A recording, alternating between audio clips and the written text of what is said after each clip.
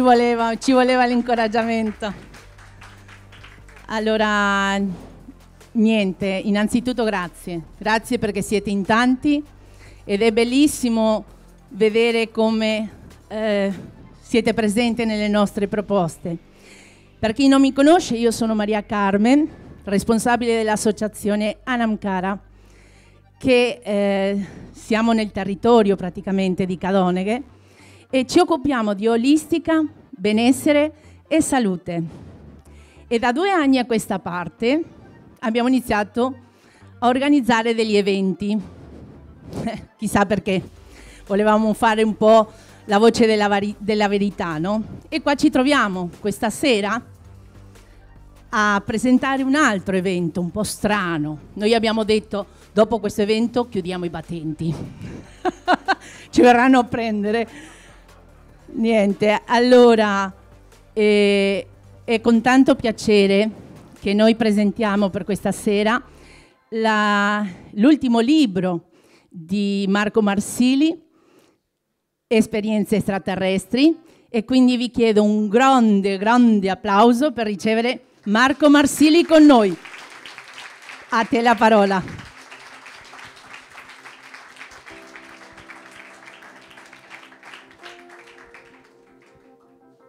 Grazie, grazie Maria Carmen, grazie all'associazione che ci ospita, sono felice di essere qui, sono qui e eh, siamo qui perché insieme anche ad altri ragazzi con la nostra associazione Dal cielo alla terra.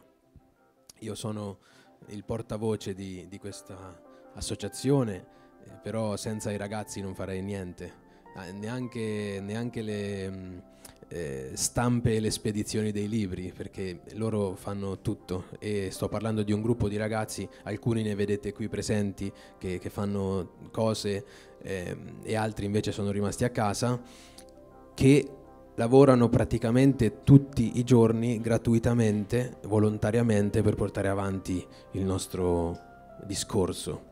Perché? Perché abbiamo vissuto delle, delle esperienze. In primis io, a partire dall'anno 2009 in maniera forte, in maniera palese e diciamo così eh, inequivocabile, cioè non potevo tirarmi indietro anche perché avevo poi chiesto io di vivere queste esperienze inizialmente.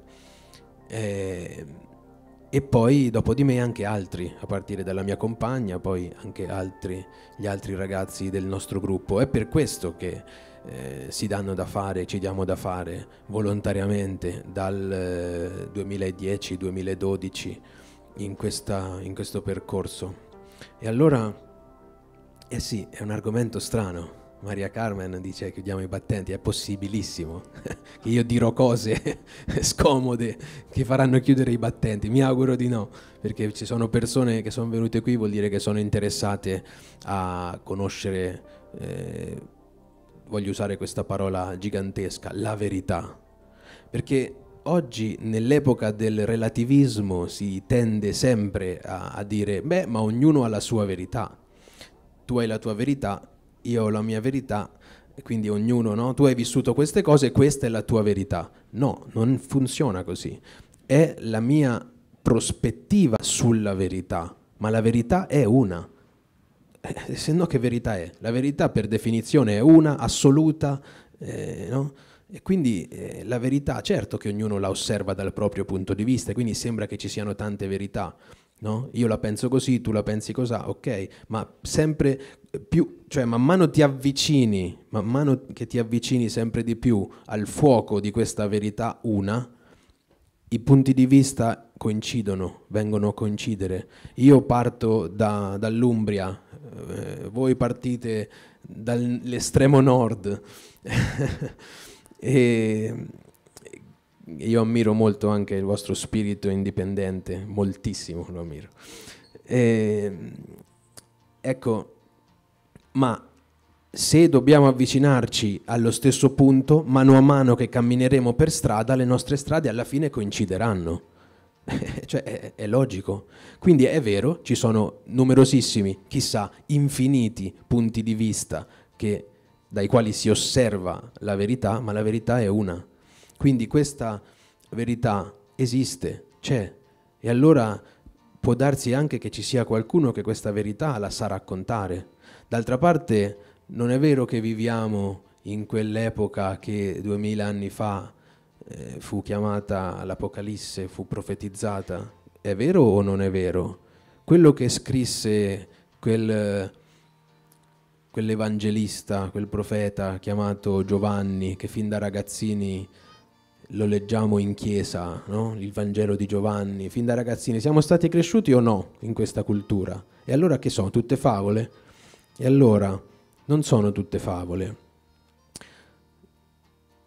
D'altra parte gli stessi Vangeli, e faccio questa piccola parentesi perché ho citato proprio il termine biblico Apocalisse, d'altra parte gli stessi Vangeli non è vero che sono stati eh, manomessi o che la, quella storia è tutta un'invenzione, assolutamente. Ci sono decine di migliaia di copie contemporanee. Quindi è uno dei testi più eh, certi al mondo. Cioè, a livello di ricerca storiografica si è più certi dell'esistenza di Gesù Cristo che di Garibaldi. Capite? Quindi tutta quella storia lì è vera. Poi che sia stata utilizzata, come sempre è accaduto nella storia del mondo, dall'antica India ad oggi, sia stata utilizzata dai gruppi di potere che poi hanno creato religioni e quindi istituzioni religiose e così via, questo nessuno lo mette in dubbio, lo vediamo, è sotto gli occhi di tutti, non ci mettiamo a sparare sulla Croce Rossa perché non è il nostro compito. Ma quelle realtà sono avvenute, si sono verificati quegli eventi. Quel personaggio Gesù Cristo è esistito, ha detto quello che ha detto. E voi pensate che se un personaggio del genere diceva la verità e quindi di essere io e il Padre siamo una e una sola cosa, ecco, voi pensate che un personaggio del genere abbia permesso nel corso di duemila anni di manipolare quello che lui ha detto, le cose che lui ha... Eh. Applauso a... Sono i, disturbato- i disturbatori, i CTR. I CTR qua. Poi perché da queste parti usa come intercalare proprio, insomma. Anche in Umbria non ci facciamo mancare niente. Ecco, quindi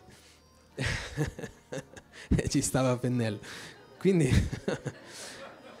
quindi ecco, in, in, questo periodo storico di 2000 anni, che dal punto di vista di questi esseri cosmici, è, 2000 anni è un mese, ecco, in 2000 anni voi pensate che queste intelligenze cosmiche abbiano dato il permesso alle forze avverse di manipolare il contenuto dei messaggi di un essere solare potentissimo come Gesù Cristo? No, non l'hanno fatto. Quindi quello che è successo nei Vangeli, che hanno fatto con i Vangeli, è stato apporre delle opportune censure per cercare di orientare un po' il pensiero delle masse, ma non hanno manipolato il messaggio. Il messaggio di Gesù Cristo si trova nel Vangelo e ce l'abbiamo a casa tutti quanti. Molti di noi Van, mi ci metto anche io, andiamo a cercare negli antichi testi tibetani, voglio conoscere, voglio sapere la verità negli antichi testi tibetani, nel copto, i tes- testi scritti in copto, i testi scritti nell'antico sanscrito, il Devanagari, eh, invece ce l'abbiamo scritto in italiano nel comodino che non lo apriamo mai ormai da quando abbiamo fatto il dopocresima. e ce l'abbiamo lì, perché la verità è a disposizione, figuriamoci, la verità deve per legge essere a disposizione, perché c'è una legge che è stata enunciata duemila anni fa dal maestro dei maestri che dice chi cerca trova cercate e troverete, chiedete e vi sarà dato, bussate e vi sarà aperto. Ecco, questa è una legge che lui ha enunciato, non è che lui parlava così perché era un romanticone e quindi diceva queste frasi belle che ci emozionano. No, no, lui parlava e ogni cosa che diceva era la legge solare e il verbo divino. Quindi questo ha... Eh, abbassa un pochino, un pochino la musica. Questo ha... Eh, ha fatto e questa è legge. Quindi noi, di conseguenza, dobbiamo avere a disposizione la verità, perché chi cerca deve poter trovare. E quindi ecco che la verità è sotto i nostri occhi. C'è in, una, in, un, apocrifo, eh, in un apocrifo, che ci sono anche alcuni Vangeli apocrifi molto interessanti, viene detta una frase eh, bellissima eh, il regno di Dio è diffuso su tutta la terra, ma l'uomo non lo vede. È diffuso su tutta la terra, ma l'uomo non lo vede. Altrove viene detto la verità è diffusa su tutta la terra, ma l'uomo non la trova, non la vede. Il regno di Dio è dentro di voi, no? Questo ci è stato insegnato. Che significa? Eh, bisognerebbe approfondire molto. Quindi io penso che le persone che sono qui oggi, voi, siate persone in cerca di questo, in cerca della verità. E la verità è stata data. La verità è stata data a più riprese ed è stata data in modo tale che ogni volta potesse essere compresa dalla società in cui veniva enunciata. Quando Krishna parlava 6.000 anni fa o più eh, nell'antica India, non poteva parlare con il linguaggio in, con il quale noi parliamo oggi. Quando Pitagora parlava prima di Cristo, più o meno al tempo di Buddha, Pitagora, parlava, non poteva parlare con il linguaggio di oggi. Quando il Buddha parlava non poteva parlare con il linguaggio di oggi, eppure hanno creato, hanno dato un impulso evolutivo gigantesco in quelle società che poi è stato divulgato in tutto il mondo nel corso del tempo. Sempre a livello poi è stato istituzionalizzato, quindi sicuramente oscurato e così via, ma il messaggio c'è sempre.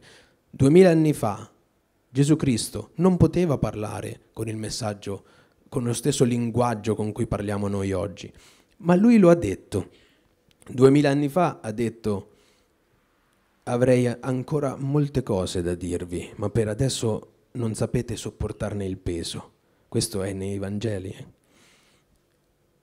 Per adesso non sapete sopportarne il peso, non siete in grado di portarne il peso, ma io vi manderò un altro consolatore, lo Spirito di verità che viene dal Padre, e lui vi parlerà della verità tutta intera, ve l'annuncerà e vi annuncerà le cose future. Quindi lui lo ha promesso questo Spirito di verità. E, e perché sto parlando di Gesù Cristo se il mio libro si intitola Esperienze extraterrestri? Perché? Perché dal momento in cui io mi sono avvicinato a questa realtà cosiddetta, volgarmente detta extraterrestre, si sono uniti tutti i puntini, ovvero questi esseri a partire dal 2009, in realtà già dal 2007 c'erano state delle, delle ispirazioni, diciamo, però nel 2009 proprio li ho eh, incontrati, li ho visti. E da lì loro mi hanno e ci hanno indicato dei personaggi. All'inizio, stiamo andando in diretta, non so se l'ho mai detta questa cosa qua, ma nel libro c'è. All'inizio hanno, eh, ci hanno indicato Pier Giorgio Caria, non lo so se lo conoscete, ma io penso e spero di sì, chi non lo conosce se ne può andare. chi non lo conosce è pregato di andarselo a conoscere, Pier Giorgio Caria, perché è eh, il massimo esperto a livello internazionale sulla realtà extraterrestre, perché non conosce soltanto la realtà extraterrestre, ma sa intersecarla e unirla a quella che è la scienza dello spirito, che questi extraterrestri portano sulla Terra. Quindi è un grandissimo. Per noi è, è come un mentore, io lo dico sempre. Eh, forse un giorno lui mi smentirà, basta, non lo dire più. Però è, è un mentore perché è un punto di riferimento molto importante, anzi io direi fondamentale nella nostra crescita, lo è stato, lo è e spero che lo sarà per sempre, perché eh, il suo discernimento è infinitamente più acuto di quello nostro che siamo in, in, in, nella fase di studio. Ecco. Quindi la sua esperienza è enorme e ci è stato indicato dagli extraterrestri. Noi ponevamo delle domande, fatevi vedere se dobbiamo incontrare questo personaggio, eh, fatevi vedere, fateci un flash eh, ah, ok, quindi dobbiamo incontrare questo personaggio? Sì, allora dateci conferma con due flash. Due flash. Ecco, e così via. E questa è soltanto il, la tipologia di comunicazione, io dico sempre, primitiva con loro, perché è proprio come noi con la clava sulle spalle che aspettiamo che ci fanno i flash eh, gli esseri del cielo, ma poi questa comunicazione è ovvio che si sia approfondita nel tempo. Io non, non sono e non voglio e non voglio e non posso e non devo avere il ruolo eh, del contattista, però è inevitabile che se sei, cioè siamo in contatto con questi esseri, quindi eh, la comunicazione ovviamente si è sviluppata ed è andata a finire su altri piani, su altri livelli. La seconda persona che ci hanno indicato questi esseri si chiama Giorgio Bongiovanni. Andatevelo a conoscere, Giorgio Bongiovanni, uno dei personaggi più importanti, secondo me, della storia umana, ma sicuramente della storia contemporanea. E, e noi abbiamo ascoltato questi inviti, ecco perché vi sto parlando eh, non, non, ero partito, non, non volevo partire così, con, parlando di Gesù Cristo, ma è venuta così. E ho fatto bene perché poi sono arrivati anche i nemici da di fuori, no? quindi i CTR, i contrari, vuol dire che ho detto qualcosa di, di, di giusto. Ecco, Giorgio Bongiovanni è uno stigmatizzato dal 1989, quindi il suo messaggio perché gli extraterrestri me lo hanno indicato? Perché il suo messaggio si lega profondissimamente alla realtà extraterrestre, perché Giorgio è cresciuto con Eugenio Siragusa, il più grande contattista della storia del mondo. Perché? Perché le stimmate le ha ricevute a Fatima, un luogo in cui la Santa Madre ha parlato di esseri cosmici che ci avrebbero visitato, in cui nel 1917 c'è stato il miracolo del sole, che quello era il sole? L'altra sera ho fatto una diretta, una premiere, eh, mi veniva da ridere, dico ma, che, ma c'è ancora qualcuno che pensa che il miracolo del sole di Fatima sia veramente stato il sole? Cioè il sole, l'astro, il sole che scendeva dal cielo, si è rimpicciolito, fa- girava sopra 70.000 persone, le ha asciugate tutte, che erano tutte fradice di pioggia perché pioveva da tantissime ore. 70.000 persone, eh? Le ha asciugate tutte, ha compiuto guarigioni, gente che vedeva, gente che riprendeva la parola, che, aveva, che era muta, eh, gente che, che mh, mm, riprendeva a camminare, che era paralitica, insomma, e poi è tornato nel cielo. E quello era il sole. Ma chi ha il coraggio di pensare che quello era il sole? Quello era una nave extraterrestre, erano questi esseri. Noi quando parliamo, quando diciamo la parola extraterrestri, siamo stati talmente indottrinati che ci vengono nella testa gli omini verdi, Veniamo in pace.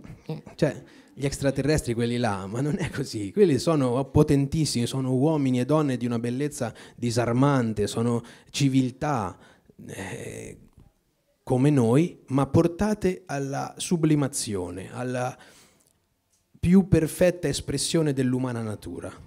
Quelli che ci visitano. Poi certo che ci saranno, ci saranno pure quelli, e ci sono pure quelli diversi da noi, magari invece che due orecchie ce ne avranno quattro, non lo so, magari lì parlano tutti sottovoce, quindi servono più orecchie. Oppure ci saranno quelli, e ci sono, che hanno gli occhi diversi dai nostri, cioè a livello somatico è normale, a livello fisico è normale che ci siano delle diversità, ma per quello che abbiamo potuto sapere, in questo universo la forma è quella antropomorfa, la forma è quella umana. Poi ci sono delle diversità. Eugenio Siragusa diceva che ce ne sono, sono degli esseri che hanno eh, due mani a destra e due mani a sinistra, a doppia mano, Quindi, eh, come che dal polso esce fuori un'altra mano. Altri che hanno gli occhi che le palpebre si chiudono come quelle delle galline. E, ehm, insomma, ci sono delle diversità. Altri che hanno il ginocchio che si piega dietro, cioè la, eh, anziché avanti, quindi camminano stranissimo. Ecco, ci sono delle diversità, ma che significa? Ma questo corpo quanto dura? Se va bene 120 anni, ma proprio deve andare molto bene su questo pianeta. 120 anni. E poi chi sono io? Chi siamo noi? Gli extraterrestri danno risposta a queste domande. Perché? Perché gli extraterrestri sono gli stessi che hanno accompagnato Gesù Cristo, Buddha, Confucio, eh, Rama, Krishna, e tutta la compagnia cantante degli avatar solari che si sono incarnati sulla Terra. Sempre questi personaggi, questi civilizzatori, questi grandi maestri, sempre, sempre sono stati accompagnati da queste manifestazioni, da questi esseri che noi chiamiamo extraterrestri, che sono delle civiltà, delle civiltà che hanno raggiunto quella che in termini teologici chiamiamo la redenzione, cioè eh, sono un, hanno raggiunto un livello evolutivo tale per cui non tornano più indietro, cioè vanno sempre avanti nell'evoluzione. Infatti noi possiamo trovare addirittura dalle, nelle pitture rupestri i dischi volanti disegnati nelle grotte che sono uguali a quelli che, che, eh, oggi vengono filmati dai nostri cellulari, dai nostri smartphone. Questo che significa? Significa che la loro tecnologia non è cambiata quasi per niente in tutti questi millenni. Quindi sono delle super civiltà, le civiltà che, che avanzano, non tornano più indietro, non cadono più.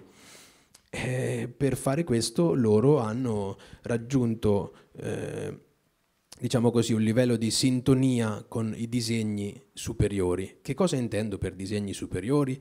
Esiste, ed esiste, una intelligenza chiamata intelligenza cosmica, chiamata intelligenza onnicreante, che nelle nostre favolette religiose chiamiamo Dio o Spirito Santo o in altre religioni il grande spirito, no?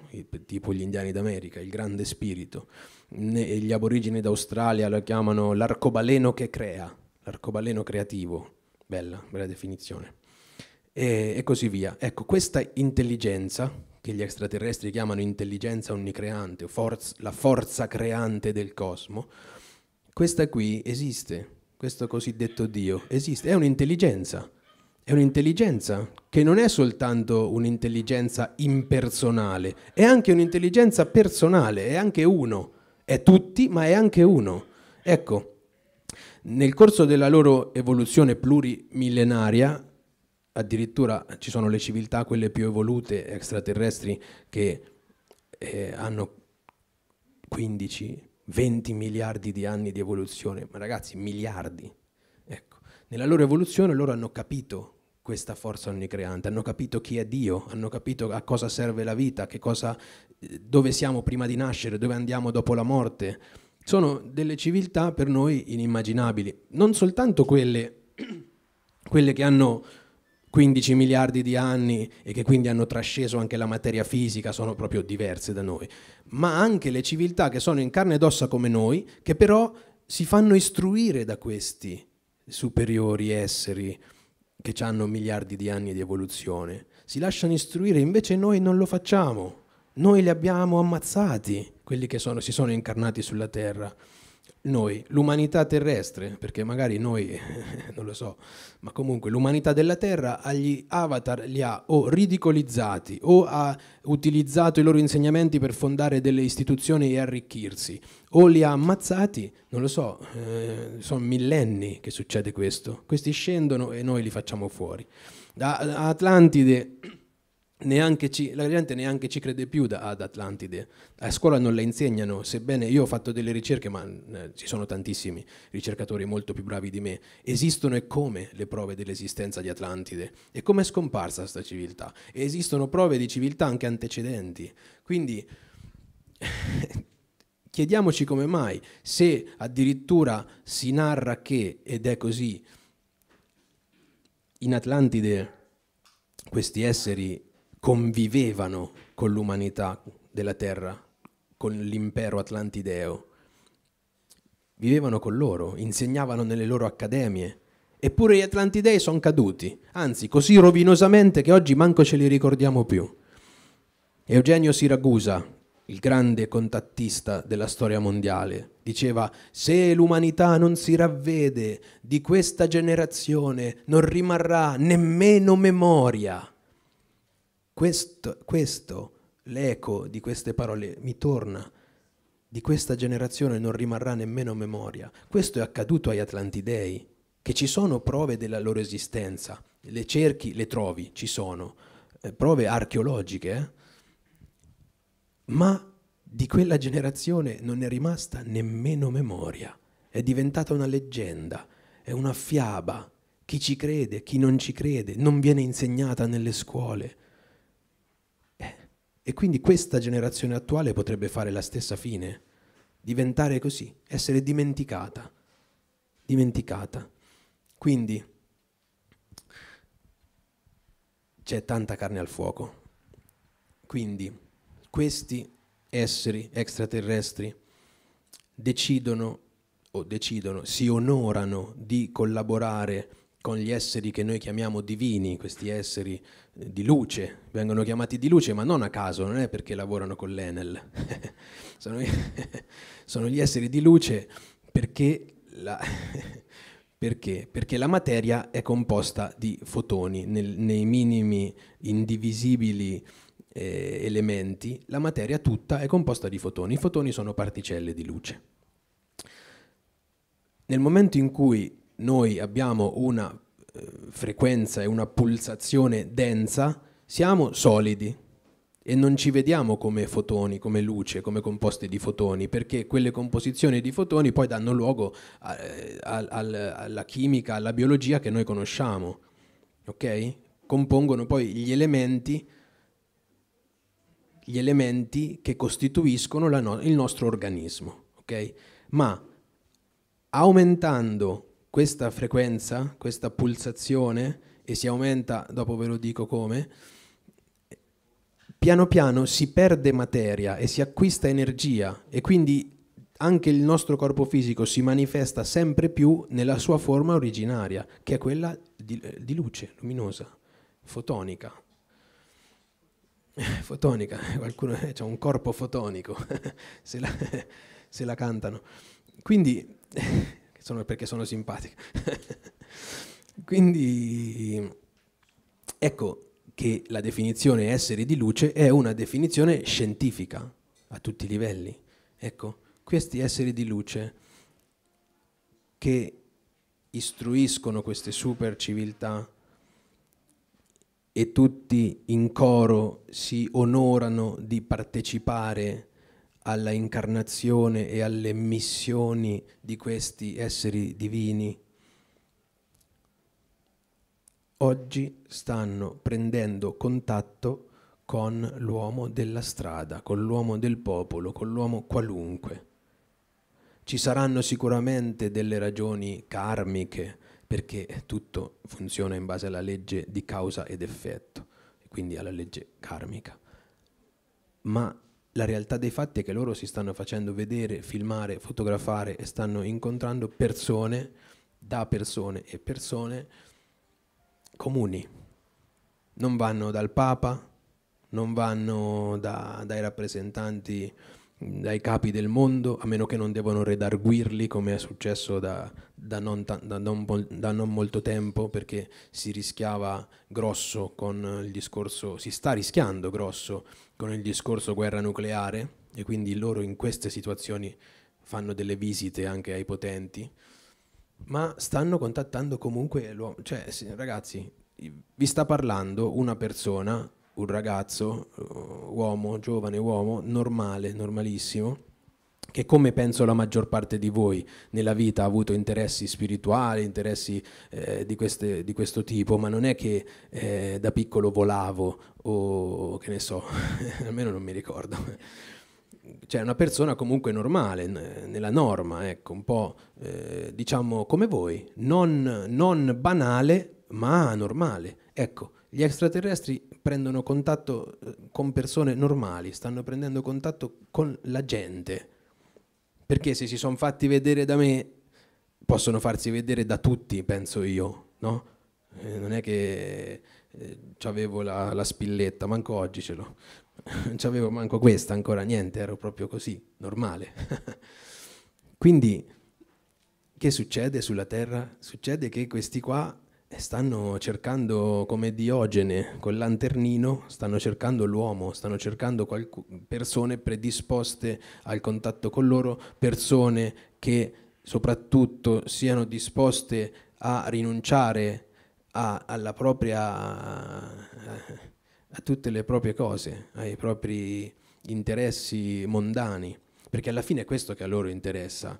Eh, loro, a loro interessa la nostra disponibilità perché loro, per delle leggi prevalenti, leggi che loro seguono scrupolosamente, leggi spirituali, non possono intervenire in maniera diretta.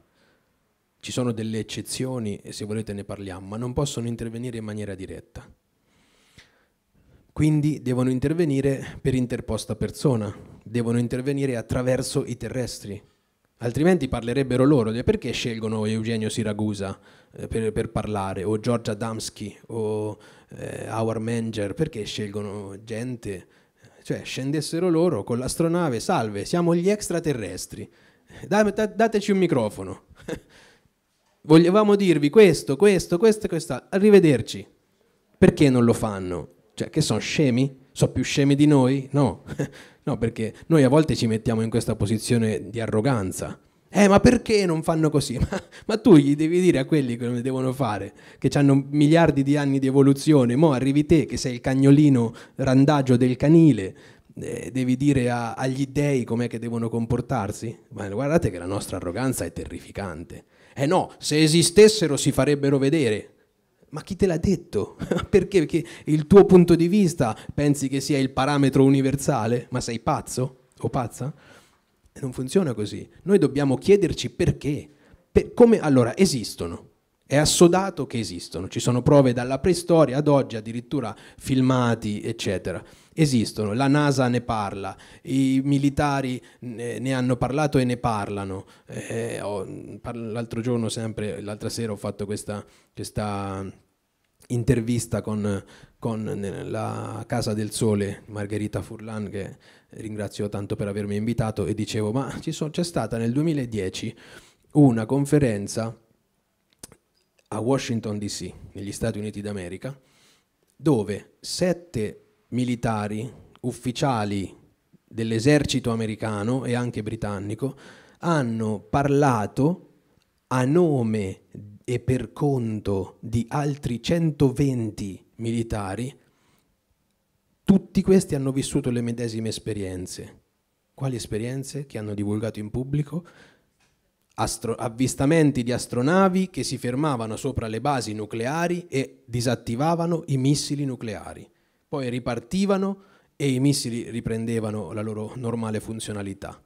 Più o meno tutti così, tutte le stesse, questo stesso tipo di esperienze. E quelli sono militari. E allora o siamo degli ignorantoni e non sappiamo niente e allora l'ignoranza dobbiamo guarirla con la conoscenza, con la medicina della conoscenza, quindi cercare, studiare, oppure vogliamo ignorare questi dati? Questi sono dati che ci dimostrano che esiste, esistono delle aviazioni extraterrestri sulla Terra cioè prendiamone atto, raga, non è più esi, sì, no, ci stanno. Chi pensa di no o è matto, o è sciocco, o è ignorante, o è in malafede. Fine.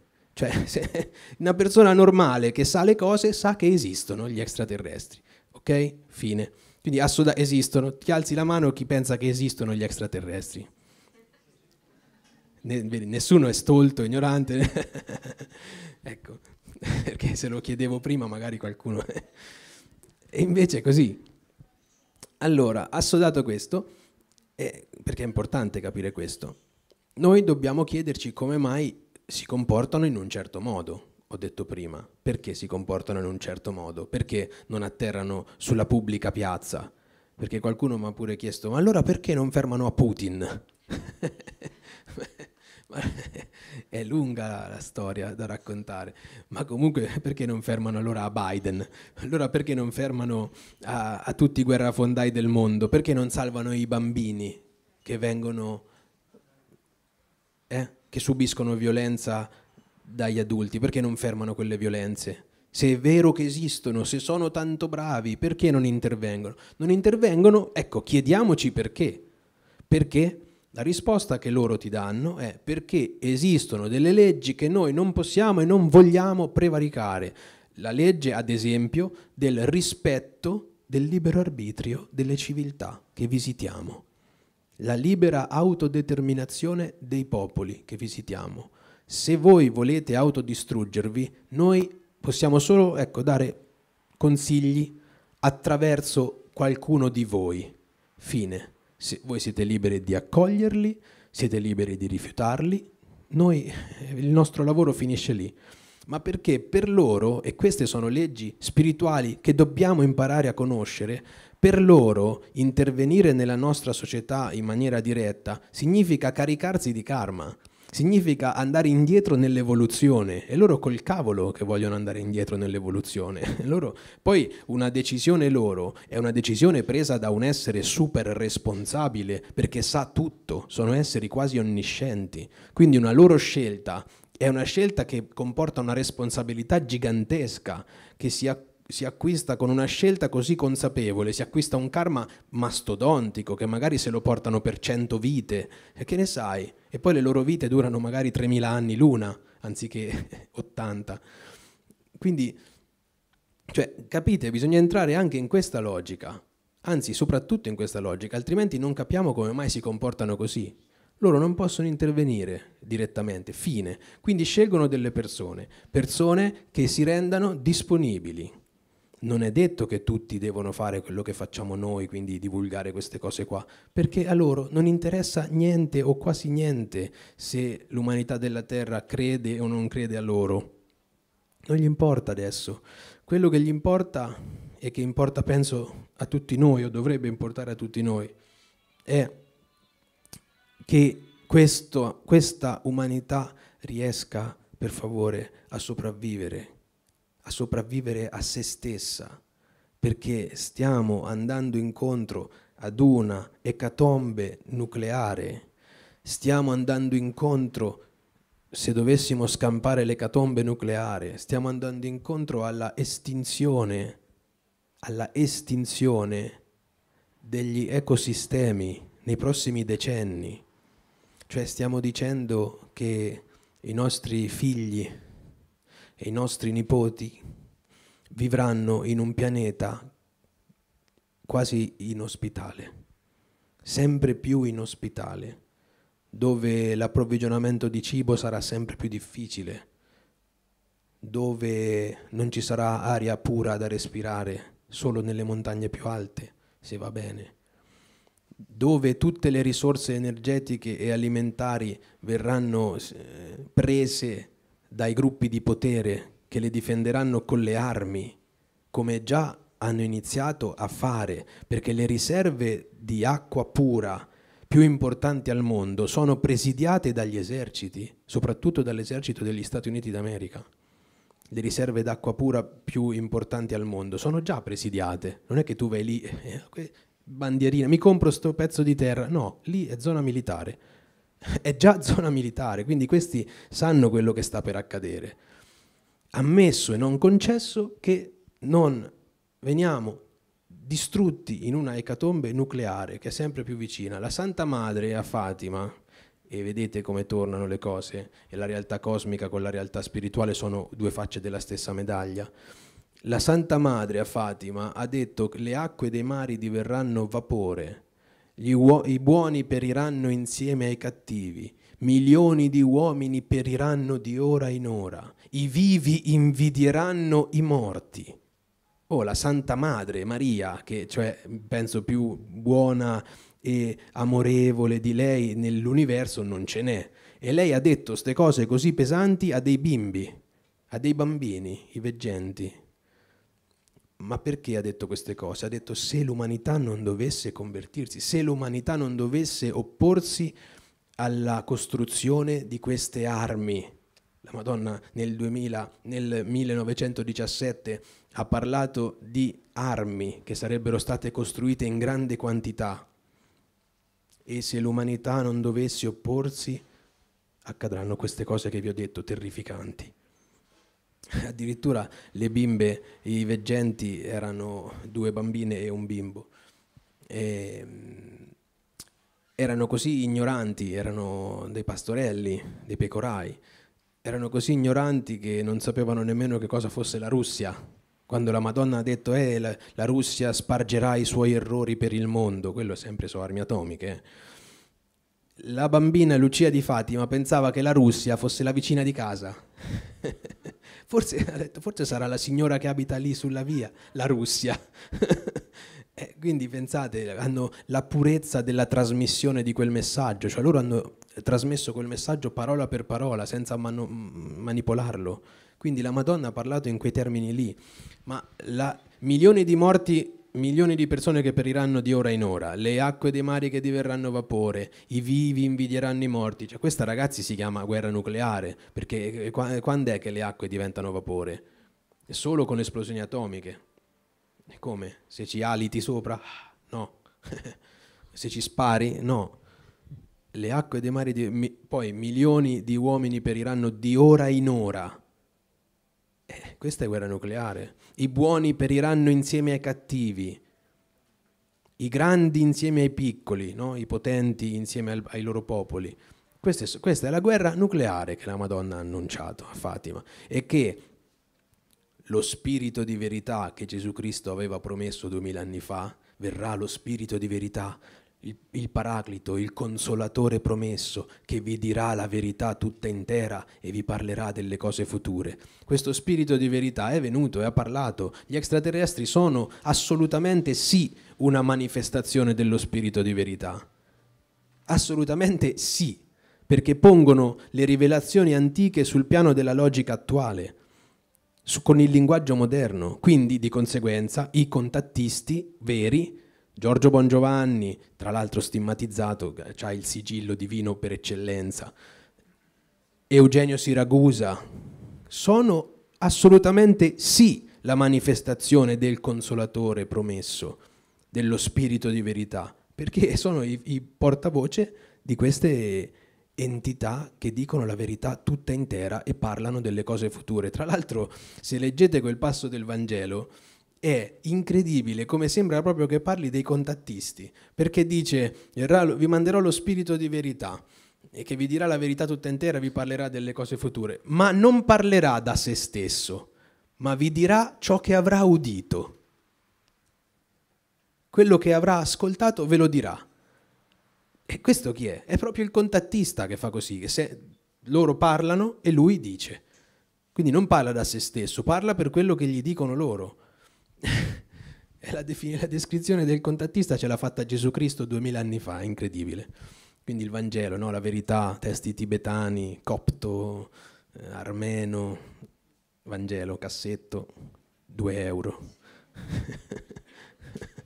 2 euro, Vangelo. Qualche volta li regalano, sono, qualche volta sono stato in alcune librerie, a me piace tantissimo leggere, sono stato in alcune librerie dove ci sono dei mobiletti e Qui libri in regalo. La maggior parte delle volte ci trovi i Vangeli, sempre, perché nessuno se li fila, capito? Perché noi siamo la civiltà del futuro. Noi ci siamo svincolati da queste, da queste barbarie primitive, da questi credo, le religioni. Pah, noi adesso siamo fluidi.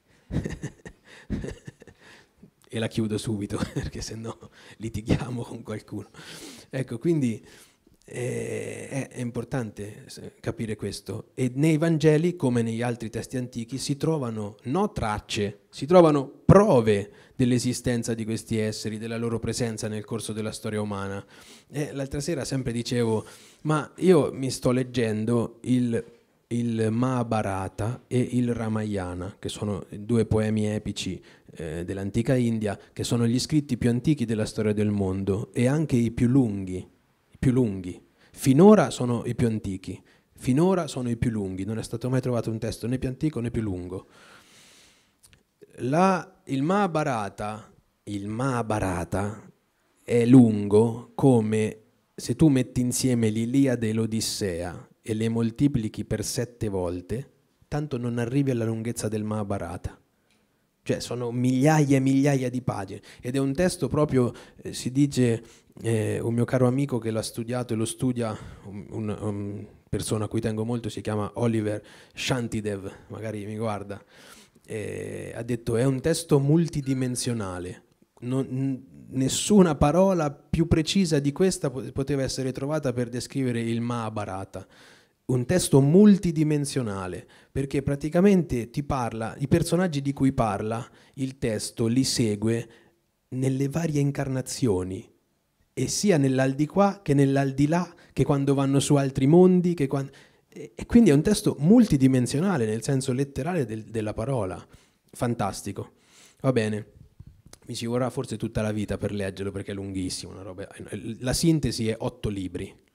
la sintesi in italiano, otto libri, poi l'ho trovato in italiano però soltanto non stampato, eh, soltanto mh, mm, eh, in digitale, eh, che lo, cioè, ci hanno creato un sito solo per quello, ed è tutto completo ed è eh, ehm, eh, tradotto in rima come è scritto il Mahabharata in realtà era, era scritto in modo poetico, diciamo, con delle, una metrica precisa, capirai, eh, voglio dire, gli indiani, l'antica India, la numerologia precisa e perfetta delle lettere, delle cose che devono corrispondere poi a certe, volendo a certe connessioni musicali, cer- buonanotte.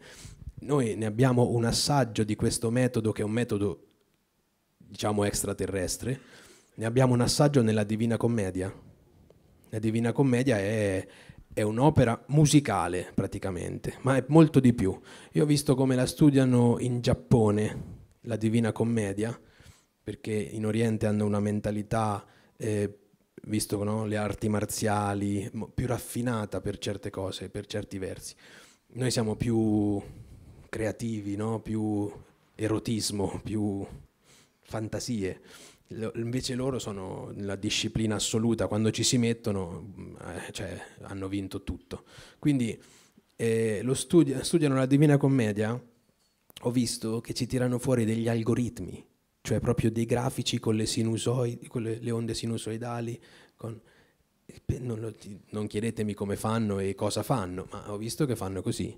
Quindi eh, riescono ad estrapolare la vibrazione veramente voglio dire la musica da quel testo e poi tradotto in giapponese, cioè non lo so, ma penso molto probabilmente eh, loro imparano l'italiano e studiano la Divina Commedia e poi nella nostra lingua, non è che la, è che la studiano sui testi tradotti in giapponesi, cioè lo, ci sono esseri umani in questo pianeta che sono disposti ad imparare una lingua, ad esempio l'italiano, che è pure una lingua difficile, è una lingua complessa, soprattutto se vuoi capire l'italiano dantesco, che è primevo proprio. Sono disposti ad impararsi una lingua pur di leggere in originale la Divina Commedia. Noi ce l'abbiamo anche quella, non dentro il cassetto che non c'entra, ma magari tra le cose del nonno, e non l'abbiamo mai aperta. Forse perché a scuola... Però, ecco, abbiamo dei tesori e la Divina Commedia contiene degli elementi sì, di verità allegorici molto importanti, perché Dante era guidato, era lo strumento dell'Apostolo Pietro, pensate. L'Apostolo Pietro, che ha fatto delle dichiarazioni attraverso la Divina Commedia, ha fatto delle dichiarazioni molto importanti per quello che riguarda il cosiddetto inferno, che nella scienza dello spirito si chiama la seconda morte, cioè la perdita dello spirito individuale e il ritorno nello spirito collettivo, laddove ad esempio nella Divina Commedia vediamo persone che nell'inferno diventano piante, alberi, che cosa va lì, gli spezza un ramo e esce il sangue. Tra parentesi, sapete che la clorofilla è quasi identica al sangue umano come composizione, cambia pochissima roba, è quasi identica al sangue umano. Va bene, quindi tra l'altro nella Divina Commedia si parla anche, io nel mio libro, ah, mi ero dimenticato, nel mio libro parlo, dov'è? Esperienze extraterrestri. Compra anche tu esperienze extraterrestri. ed, è, ed è subito magia. Il libro ad offerta volontaria, no? Ecco, qua dentro io ho trovato dove Dante parla di extraterrestri.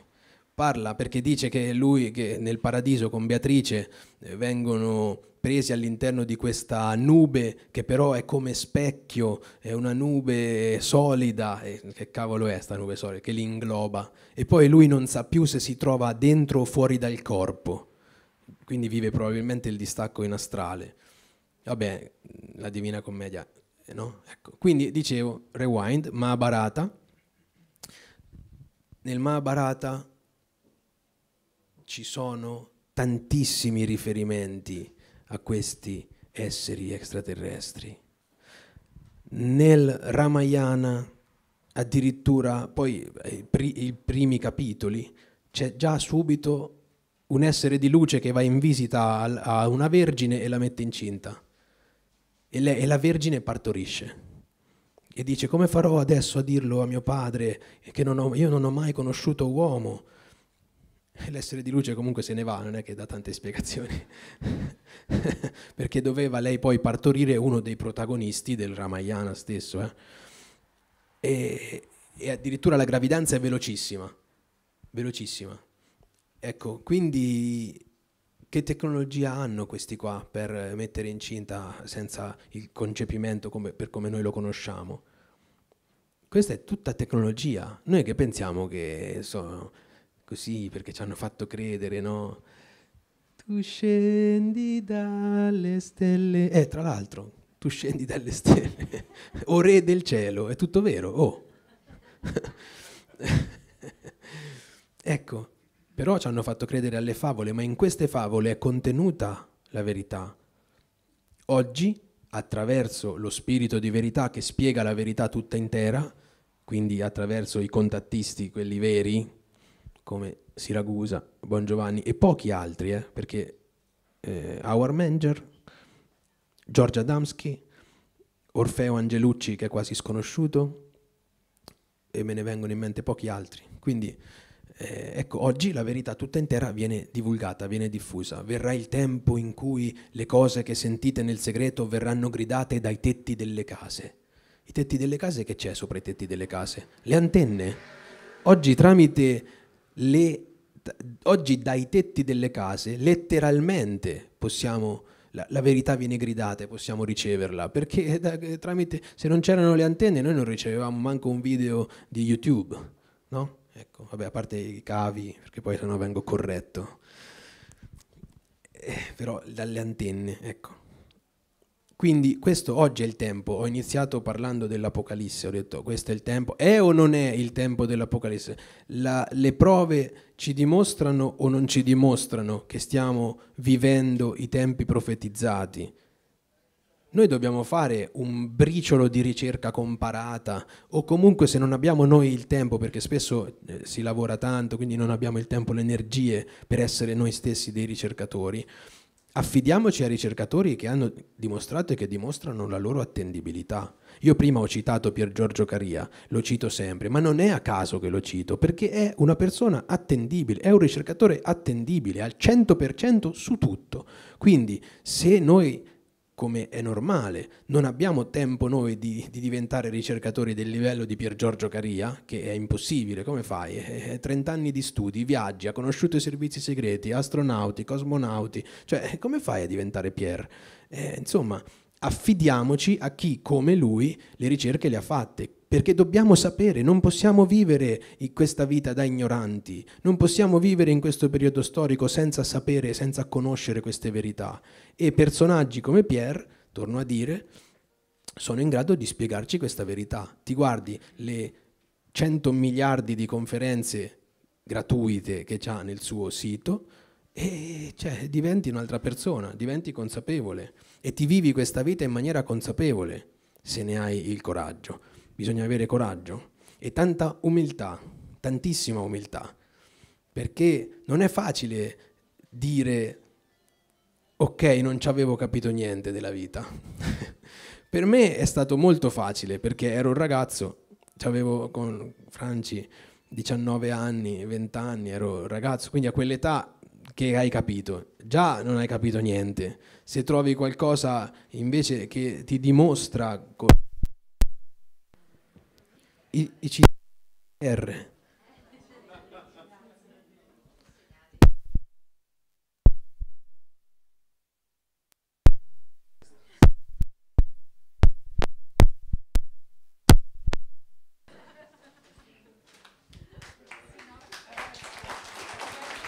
Prova.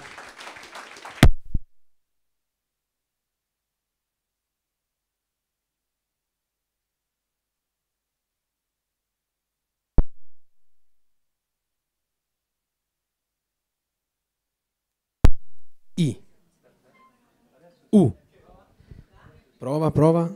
Ego te absolvo. Adesso non mi ricordo più quello che stavo dicendo, ma adesso me lo ricordo. Umiltà, perché mettere in discussione quello che noi pensiamo che è la verità, che noi abbiamo capito, invece non ci abbiamo capito un tubo, è difficile. Certo, ripeto, a quell'età nostra era, è stato facile cambiare, non cambiare idea, ma capire le cose, è stato più facile, perché non dovevamo cambiare nessuna idea, non, nessun modello troppo eh, no, rigido, come? Radi- radicato, sì. E, ma io capisco benissimo che in realtà può essere molto difficile approcciare a questi insegnamenti. Ma mo chi è? Sto Siragusa siciliano con la quinta elementare mi devo leggere le cose che ha scritto lui perché i ipotetici extraterrestri avrebbero dato questa scienza dello spirito? Ma mi faccia il piacere. È così, no, c'ho da fare. Eh, al limite la sera mi vedo la serie, la serie su Netflix. Oh, ne ho, non ne ho vista mai manco una io, sono un eroe.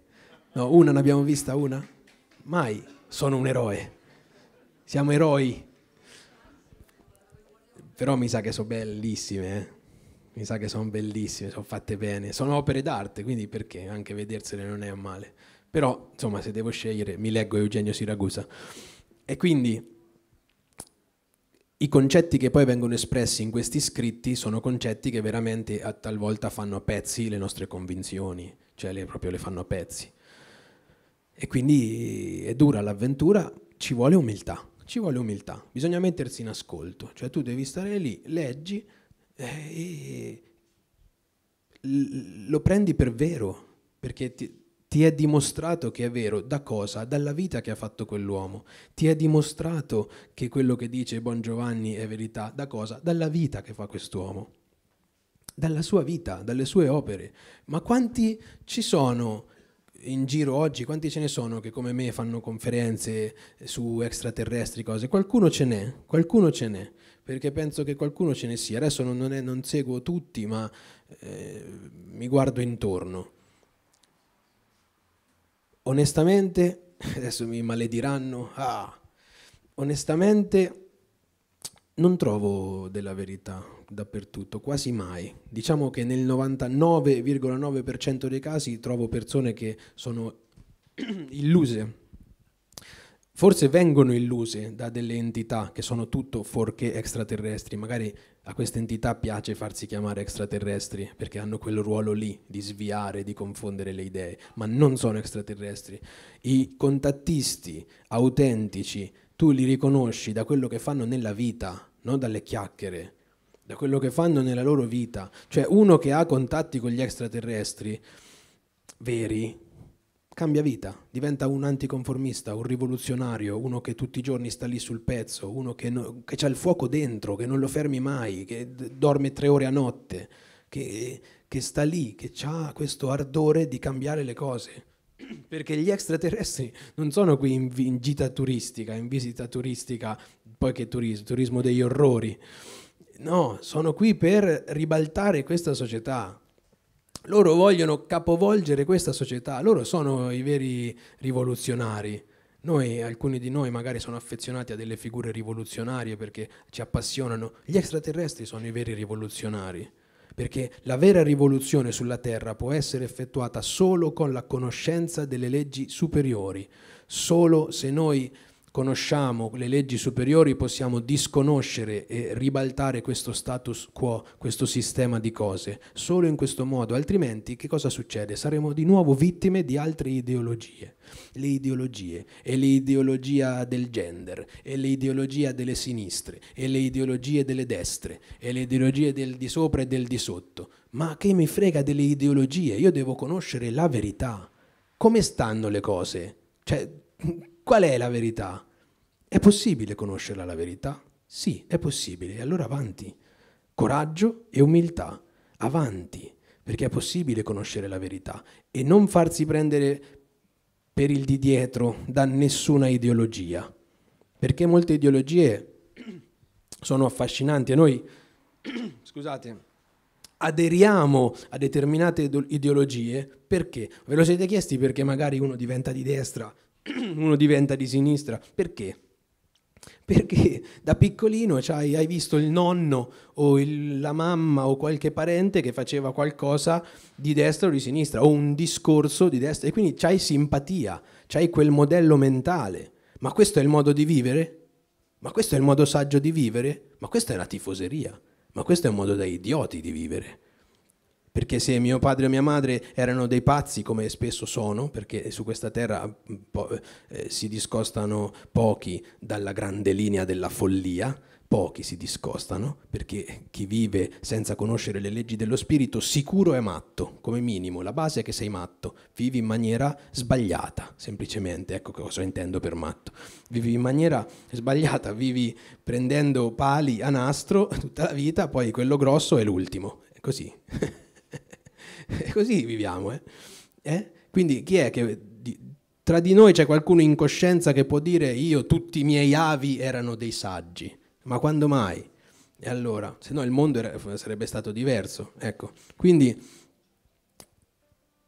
è sciocco aderire a questa o quella ideologia perché ci sta simpatica. No, ma io penso così perché mi risuona. Eh, questa parola mi risuona.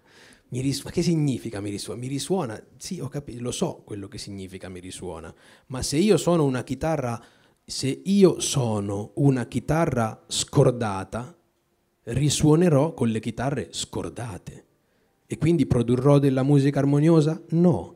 Ci sarà una cacofonia generale meravigliosa, farà schifo totale? E noi penseremo che eh, la nostra ideologia è questa qua perché ci risuona, perché siamo tutti stonati. Non lo sanno di essere tutti stonati. Pensate che su questa terra ci sia qualche politico che sia una chitarra intonata?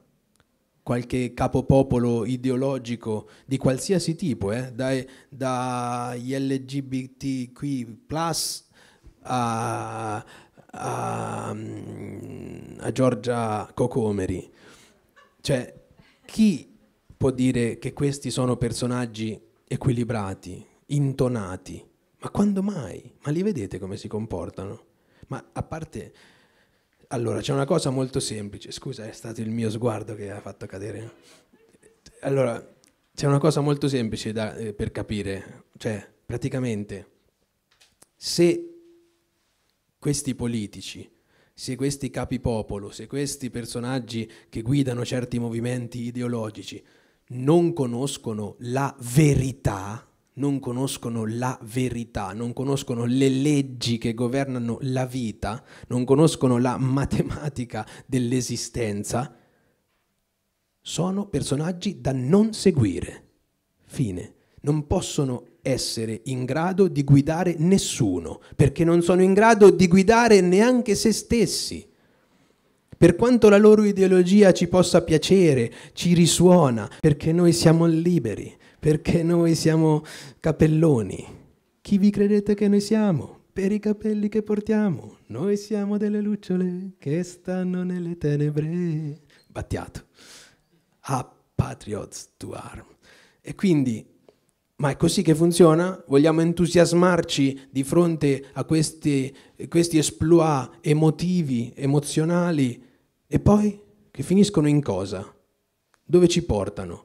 Se non c'è la conoscenza, non può esserci la saggezza, quindi nessuno può guidare altre persone se non conosce le verità che guidano la vita.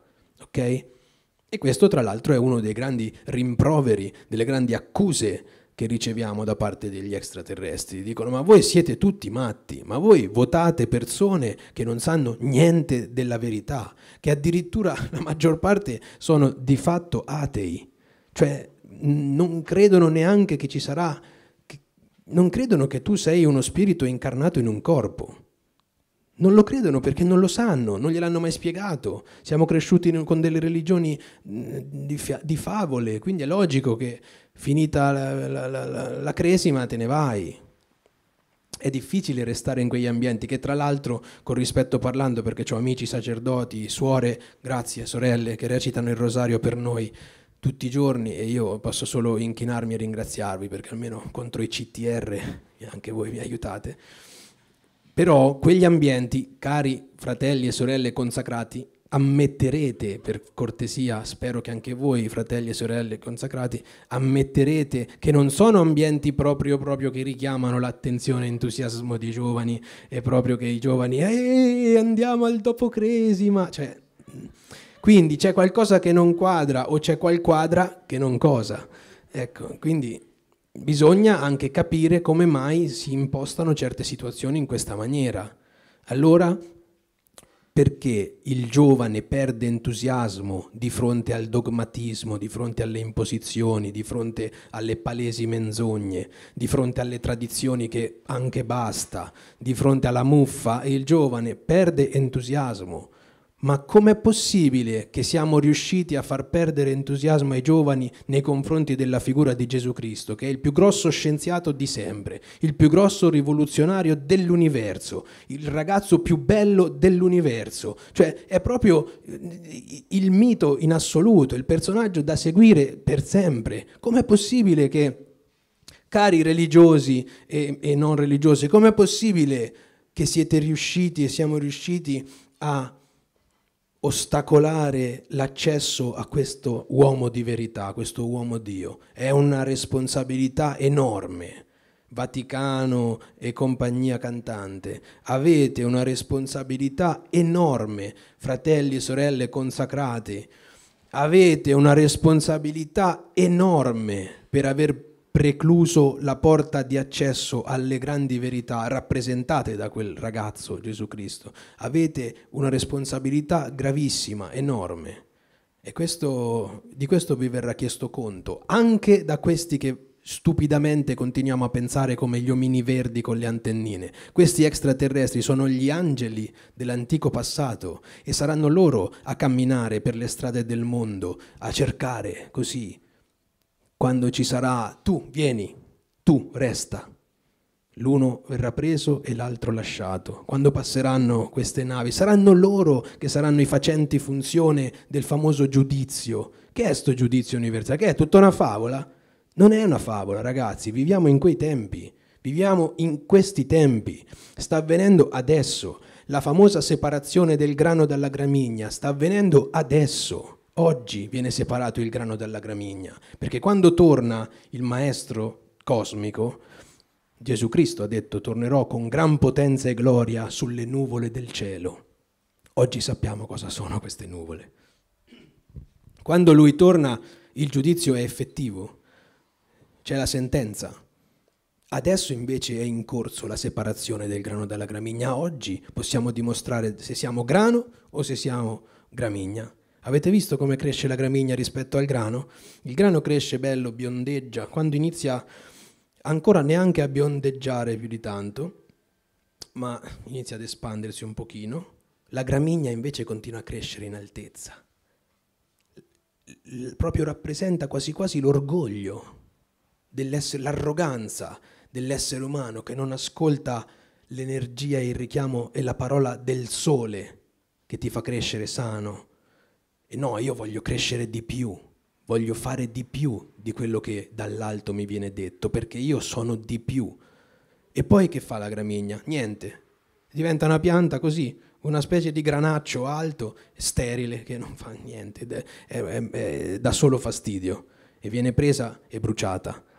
E questa è la promessa che ci è stata fatta millenni or sono e che oggi si sta compiendo, perché oggi si stanno compiendo queste profezie. Non è che dici, sì vabbè, domani, oggi si stanno compiendo queste profezie, adesso. Ad, vi faccio un esempio, sempre per fare uno studio anche comparato, e poi chiudiamo e diamo spazio, alle domande. Uno studio comparato. Io fa, ho studiato le profezie dei nativi d'America, le profezie degli indiani d'America, perché poi loro, quando dici nativi, ci sono molte tribù che dicono no, no, ci devi chiamare indiani. Noi siamo gli indiani da me, anche noi tra di noi ci chiamiamo Indians. E loro ti dicono così, quindi io per fare il politicamente corretto dicevo i nativi d'America, uno sciamano Diné, uno sciamano navajo, mi ha detto ci devi chiamare indiani. I nativi sono gli americani che sono nati qua, noi ci siamo qua da sempre, non siamo nati qua, noi ci siamo qua. Vabbè, gli indiani, ecco, le profezie degli indiani d'America si sono compiute tutte tranne una. Tutte. Tutte avevano profetizzato anche le minigonne. Le minigo- e, le, e, le, vesti delle donne si accorceranno sempre di più fino a diventare... Avevano profetizzato le minigonne. E negli anni 70 eh, si è compiuta la profezia delle vesti delle donne sempre più corte. Che un amico mio mi ha detto, ma questo a me non è che mi dispiace. Io ho detto no, manco a me, però andiamo avanti, leggiamo. e quindi una ne manca, il ritorno del grande fratello bianco. Si, è, si, sono compiute tutte, si è compiuta pure la, la, la, profezia, quella che l'aspettavano tantissimo, soprattutto negli il clan Hopi, eh, la Blue Star Kachina, i Kachina sono questi esseri che loro hanno divinizzato, ma perché sono extraterrestri, ma effettivamente hanno poteri divini, perché se un extraterrestre ti si presenta, ti insegna come si accende il fuoco, ti insegna la lingua, ti insegna a suonare, scompare davanti a te, poi riappare dall'altra parte, cioè per te è ovvio che lo divinizzi. Questi Caccina avevano promesso che sarebbero tornati con una stella blu e questo è, è, è accaduto ed era uno degli ultimi segni. Manca solo che torna il grande fratello bianco con la, con la barba. Chi sarà? uno a caso. Chi sarà sto grande fratello bianco con la barba? Boh, uno a caso, Gesù. Ecco, quindi c'è Gesù perché Gesù è andato duemila anni fa, è andato a trovare, grazie a questi fratelli dello spazio, è andato a trovare tutte le cerchie iniziatiche e i gruppi sacerdotali di duemila anni fa tutti in Tibet, in Nepal, nel Kashmir, apposta si trovano le, le, testimonianze di questo ragazzo, di questo Gesù. Non è che ci è andato dopo, perché alcuni c'è una corrente di pensiero che dice perché non è morto in croce, ma è stato portato via dai suoi fedeli e allora poi è viaggiato in, nel mondo e si trova di qui di là. No, no, no, no. Lui, lui, è morto in croce, risuscitato, poi è andato al cielo, come c'è scritto lì che gli apostoli che c'erano l'hanno visto negli atti degli apostoli. C'è scritto che mentre Gesù parlava, a un certo punto è iniziato ad elevarsi ed è entrato in questa nube. Atti degli Apostoli nel cassetto, 2 euro. E, sono, e dice, e apparvero loro, agli Apostoli, apparvero loro due uomini vestiti di bianco. E, gli hanno, e dissero, uomini di Galilea, perché state a guardare il cielo? E perché piangete? Questo Gesù che vedete salire in cielo tornerà così nello stesso modo in cui lo vedete salire nel cielo.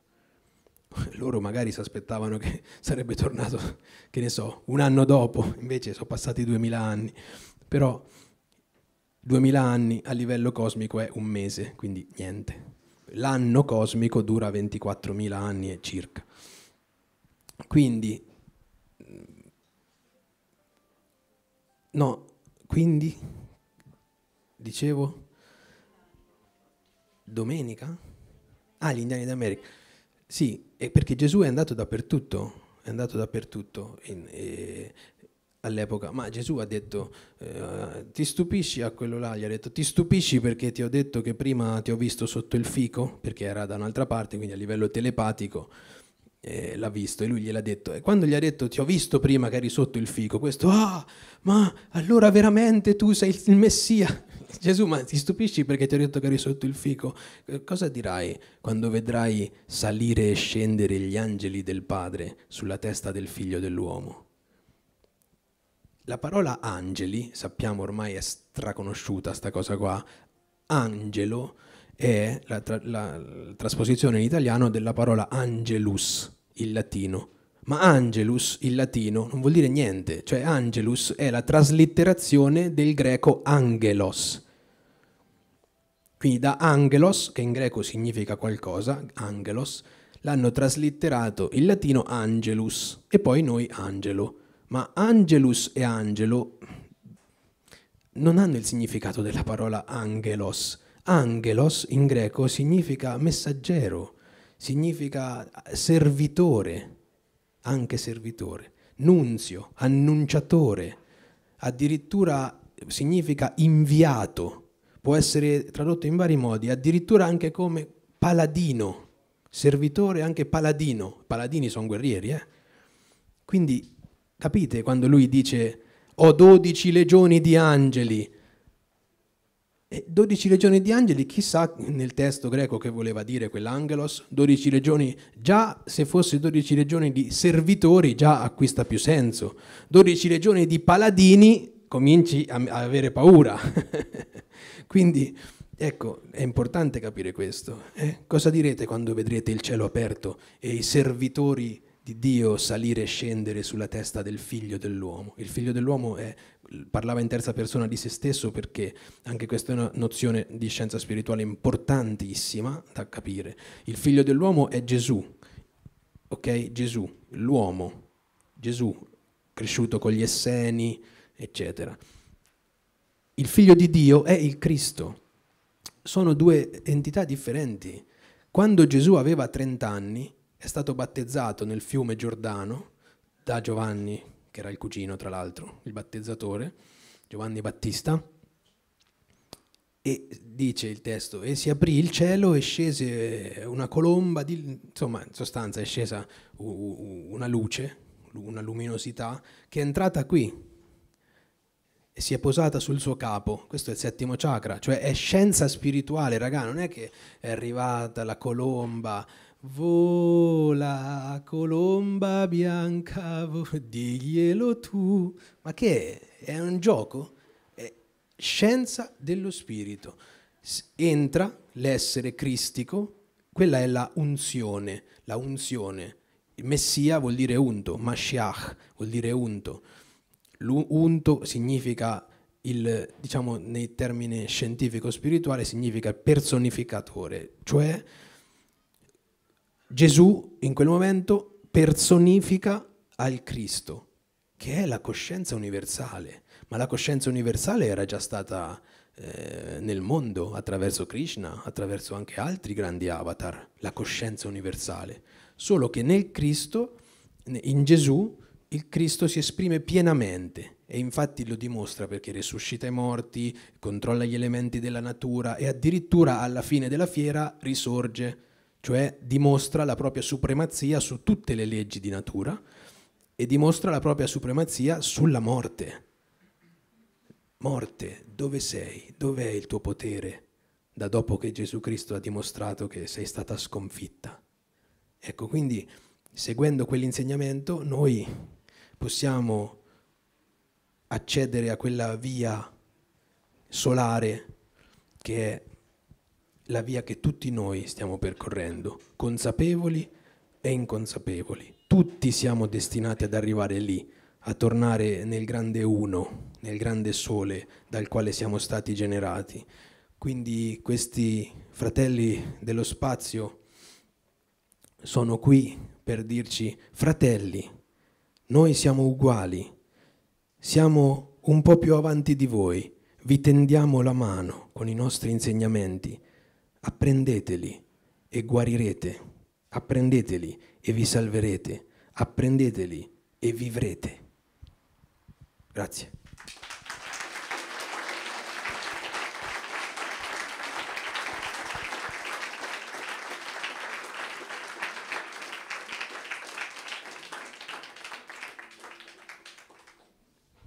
Avanti con le domande, vai con Lissio. che devo fare?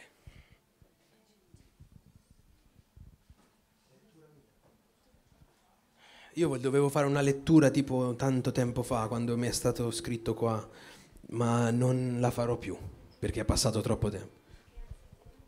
Perché alle sette e mezzo dobbiamo chiudere, poi vi annoio, però avevo fatto anche una bella musichetta, tutta una storia. Va bene, volevo fare performance, come quella là, eh, come si chiama? Marina Abramovic. Performance. Quella pure, Satana 2, la vendetta, Marina Abramovic, per carità, per carità, lungi da me, Marina Abramovic, e tutti gli artistoidi, Marina Abramovic, Marina Abramovic, le performance. Ma sono ignoranti, non lo vedi che è Satana? Cioè, non lo vedi che c'è dietro il male? Vedi, apri il tuo occhio spirituale. purtroppo, la, eh, sì.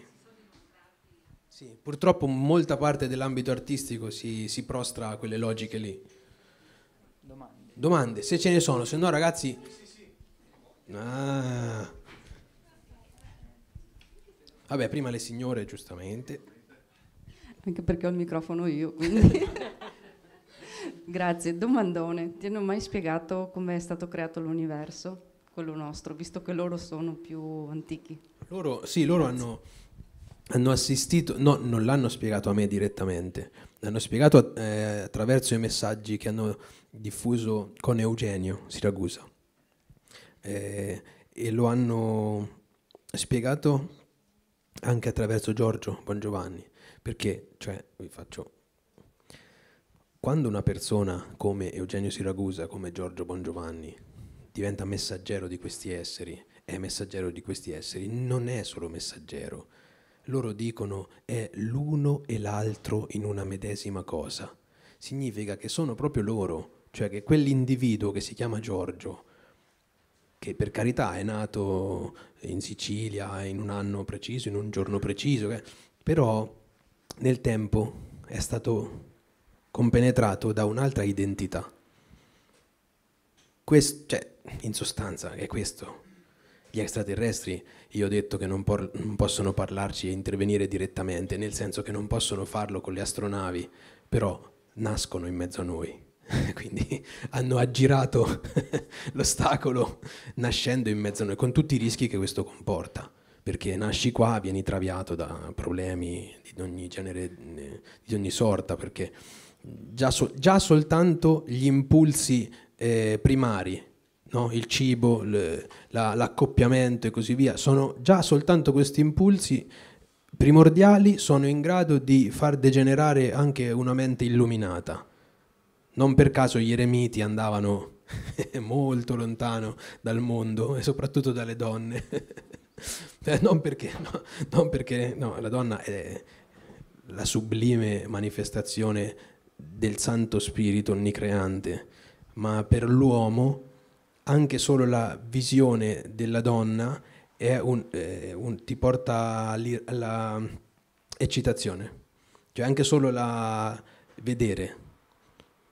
Quindi anche senza rendercene, non è che siamo cani o animali, ma anche senza rendercene conto, il cervello e l'organismo cominciano a, a elaborare il modo per accoppiarsi isti- l'istinto animale ti porta a quello. Poi noi siamo più evoluti, ci sappiamo regolare, ci sappiamo controllare, dominare tutto, magari neanche ci pensi, cioè non è che vedi una donna, dici come mi posso, non lo dici, non, non ti viene, però l'organismo è già organizzato per quello, subito, immediatamente, proprio è uno schiocco di dita.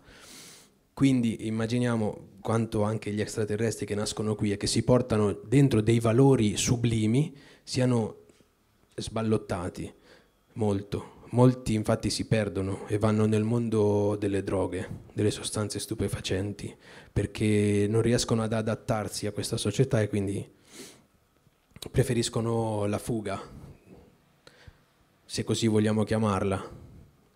Comunque ecco, non, non si adattano a questa società. Quindi o trovano un modo anticonformista di vivere e si aggregano a un gruppo o a qualcosa, oppure si perdono anche se sono molto spesso geniali, figure geniali, musicisti bravissimi, pittori incredibili, però si, si distaccano dal mondo e spessissimo usano sostanze stupefacenti, quasi sempre, purtroppo, quelli che non si adattano, quelli che non, non riescono a trovare un, uno sbocco in questa società, purtroppo. E questa è la società che è stata costruita sulle logiche di Lucifero, un essere potentissimo di sesta dimensione che ha già distrutto il suo pianeta, di cui restano i residui nel nostro sistema solare, la fascia degli asteroidi che ruota, orbita tra Marte e Giove, quella non è la fascia degli asteroidi che sono nati così, quelli sono i pezzi, i resti di un pianeta esploso milioni di anni fa a causa dell'utilizzo proprio dell'energia nucleare. E l'essere patronimico di quel pianeta si chiamava Lucifero era questo essere meraviglioso che però è stato arrogante come la gramigna e, e quindi è stato precipitato qui in spirito per svolgere una funzione che è quella di tentare di mettere alla prova l'umanità della terra. Così lui intanto fa il suo compito qui e si redime, in milioni di anni si redime e fa il suo lavoro che il padre quando ti dice stai lì, stai lì, fine e nel frattempo fa evolvere l'umanità della Terra, perché noi attraverso la tentazione evolviamo resistendo alla tentazione, alle tentazioni evolviamo. Quindi si può dire che Lucifero è come un personal trainer, ti mette alla prova, no? E tu resisti. E così evolvi. Quindi Dio scrive dritto anche sulle righe storte. Quindi eh, la creazione dell'universo, loro dicono che hanno assistito alla creazione dell'universo, che hanno visto la creazione, diciamo, loro hanno assistito al nostro Big Bang 15 miliardi di anni fa, quando c'è stato il nostro Big Bang, loro lo hanno osservato, loro già viaggiavano nell'universo, già viaggiavano nel cosmo e hanno visto il nostro Big Bang e quindi ci hanno seguito da sempre. Noi, noi non conosciamo noi stessi come loro ci conoscono, loro ci conoscono molto meglio di come noi conosciamo noi stessi anche perché hanno capacità sia tecnologiche sia psichiche che noi ce le sogniamo. Cioè loro ti guardano, ma loro non, ma nemmeno hanno bisogno loro di, di farlo, ti mandano un grigio, un robot biologico, ti mandano il grigio con quegli occhioni, il grigetto, che ti guarda e con quello sguardo lui ti legge pensieri, emozioni, come ti scorre il sangue, quanto colesterolo c'hai, cioè tutto. Tutto quanto. E, e I grigi chiudono gli occhi, chiudono le palpebre anche una alla volta, sono capaci. Sapevate? E quindi e loro, questi esseri grigi, sono, detto robot biologici, non per sminuire, perché loro hanno una capacità cerebrale che è, che ne so, 200 volte la nostra, cioè una roba incredibile e aiutano molto anche i, i contattisti. Abbiamo noi una fotografia eh, che è stata penso anche divulgata di Giorgio Bongiovanni che aveva la febbre a 41, la febbre altissima, 40, sì, eh, in Sud America, però lui per obbedienza al Signore e a questi esseri meravigliosi è andato ugualmente in conferenza durante la conferenza stava per cadere dal palco perché stava per avere un cedimento e nella foto si vede questo esserino grigio che lo abbraccia da dietro. Si capisce che è in astrale, cioè che tu fisicamente lì la gente magari non l'ha visto, no? Però è, stato, è rimasto impresso con la fotografia. Vedi proprio il profilo con l'occhio, anche un po' di bocca e che lo abbraccia, lo tiene qui, le giunge le mani qui all'altezza del suo ombelico e da dietro lo abbraccia e lo tiene così. E Giorgio ha detto sì perché mi stava dando energia perché sennò cadevo. Quindi questi esseri sono presenti. Quindi creazione dell'universo, sì, loro hanno visto la creazione del nostro universo e puoi trovare addirittura dei disegni che loro hanno fatto fare a Eugenio Siragusa in modo voglio dire medianico, ma comunque Eugenio era uno di loro in mezzo a noi, quindi è come se loro hanno disegnato. E l'esplosione del... insomma, hanno raffigurato tutti i vari passaggi della, del Big Bang e della nascita del nostro universo, perché loro c'erano. E sarebbe bello farci una conferenza, perché già solo questo sarebbe un argomento bellissimo che poi magari possiamo inserirci dentro questo argomento, eh, la nascita del bene e del male, il perché, il per come, no? Bello, facciamola. il bene e il male. Questa, questa eterna, questo eterno binario eh, ci tocca. Sono io che sono diventato una cassa umana?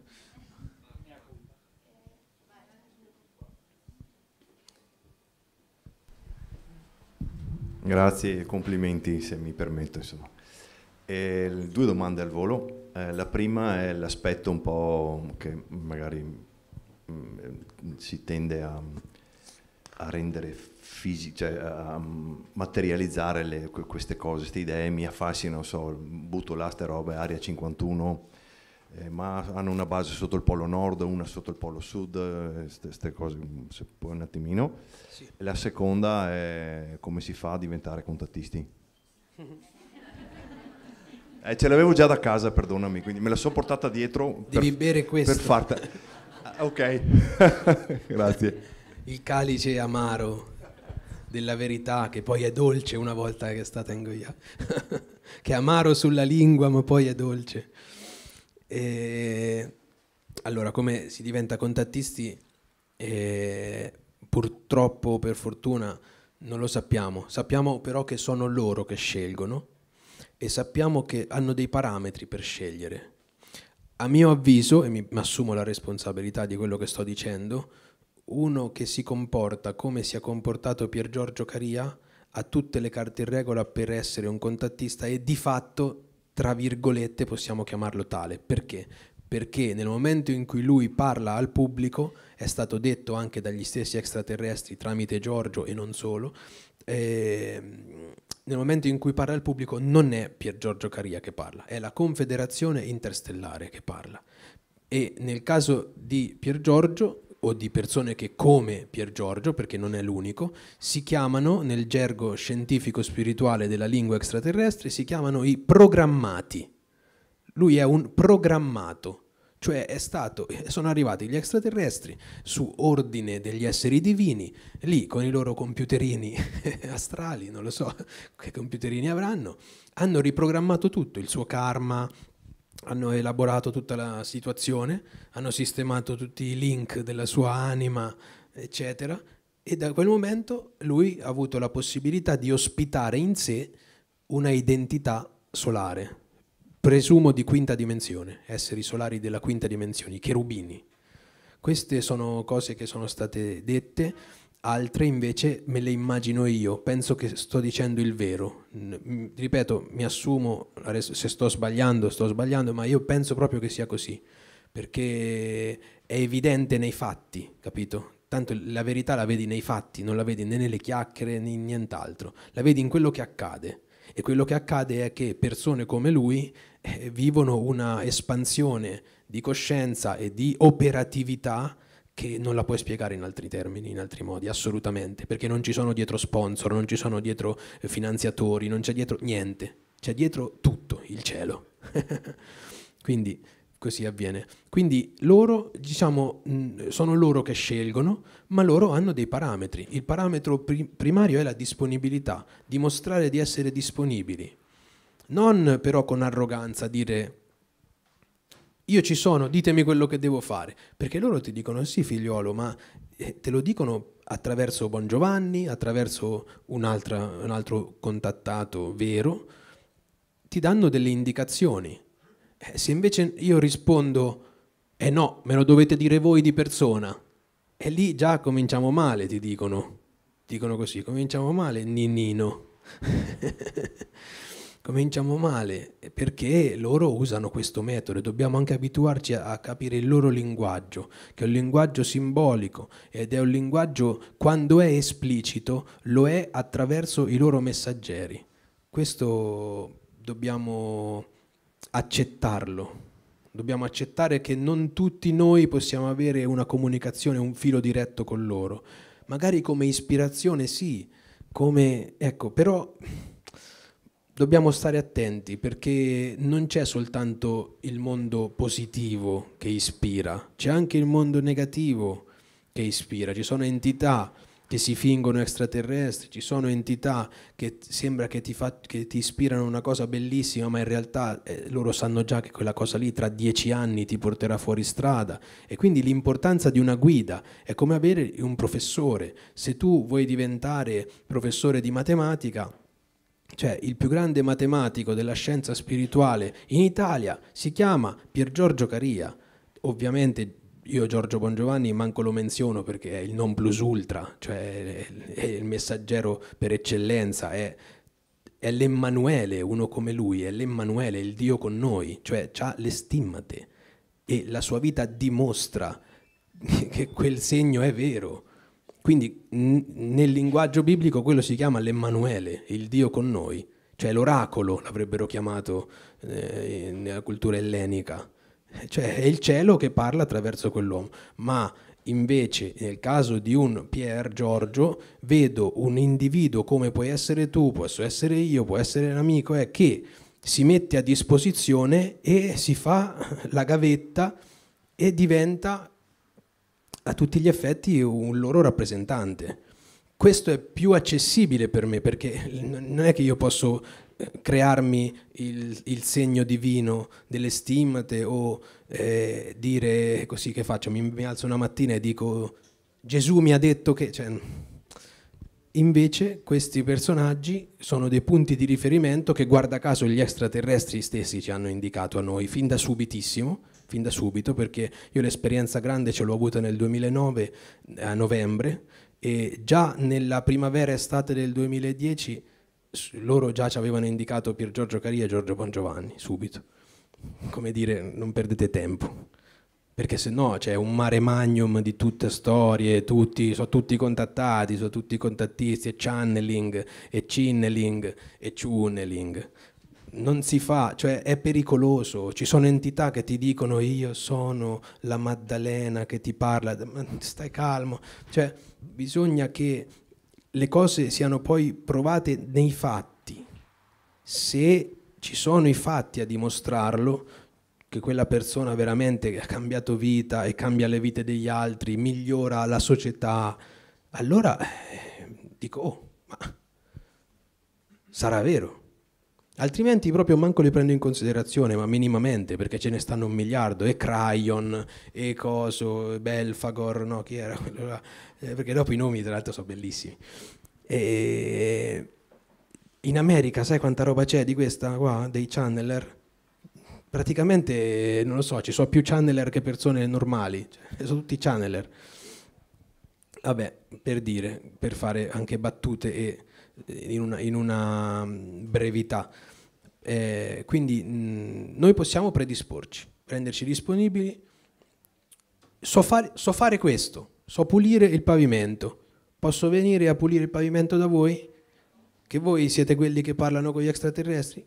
Vieni a pulire il pavimento. Poi magari si scopre che tu eri umile, hai detto che sapevi pulire il pavimento, ma in realtà sai benissimo fare le riprese con la telecamera o scrivi da Dio, scrivi da Dio, e quindi ti, dopo, dopo, un mese, ma tu hai scritto quella roba, quel messaggio l'hai scritto tu? Sì, smetti di pulire il pavimento, vieni, scrivi, scrivi articoli. Poi dopo loro, se noi ci mettiamo a disposizione, ci aiutano, ci amplificano anche le, le, capacità, per loro è un gioco da ragazzi, però devono vedere la disponibilità, devono vederla questa, eh, non è che ti danno i superpoteri senza... No? Eh, potrei fare mille esempi di Pier Giorgio, ma basta, non li faccio perché lui i superpoteri ce li ha veramente. L- ecco, grazie. Lunedì esce sul nostro canale YouTube che si chiama Marco Marsili, ma è il nostro canale eh, nostro, esce questa serie che si chiama Il Contatto, però, nella quale proprio io leggo dei messaggi che sono arrivati tramite Giorgio da un essere che si chiama Setun Shenar, che ha detto come avviene il contatto, quali sono i parametri del contatto tra extraterrestri e terrestri. E so, è una serie di 5 puntate, 6 puntate, eh, dove io faccio la voce narrante, ma ci sono tutte immagini bellissime, musiche bellissime, tutto il montaggio tra l'altro è stato fatto da un nostro caro amico che farei un applauso, qui presente. Piero perché è una figura di una professionalità altissima che potrebbe benissimo lavorare alla RAI, Mediaset, anzi se li mangia a colazione quelli. Ah, ci ha pure lavorato, ecco, quindi... Eh, cioè, ma il Signore, cioè, il Signore è grande. ecco, quindi così, l'altra domanda? Ah, l'area 51 esiste, sì, l'area 51 esiste, esistono anche altre basi molto più segrete dell'area 51, perché l'area 51 ormai non è più segreta. Eh, cioè, vai su Google Earth, area 51, ta, cioè, è lì. Deserto, certo, non puoi andare perché ti sparano, eh, ci sono le mitragliatrici, quindi ti sparano, però sappiamo dov'è. E dicono che è molti, molti piani scavata nel sottosuolo e comunque le basi segrete militari americane, non so se tutte, ma tante, sono collegate tra loro da treni sotterranei, da strade sotterranee, è proprio un'altra vita, la vita segreta degli americani, del governo americano, che pure questi, ma io veramente, guarda.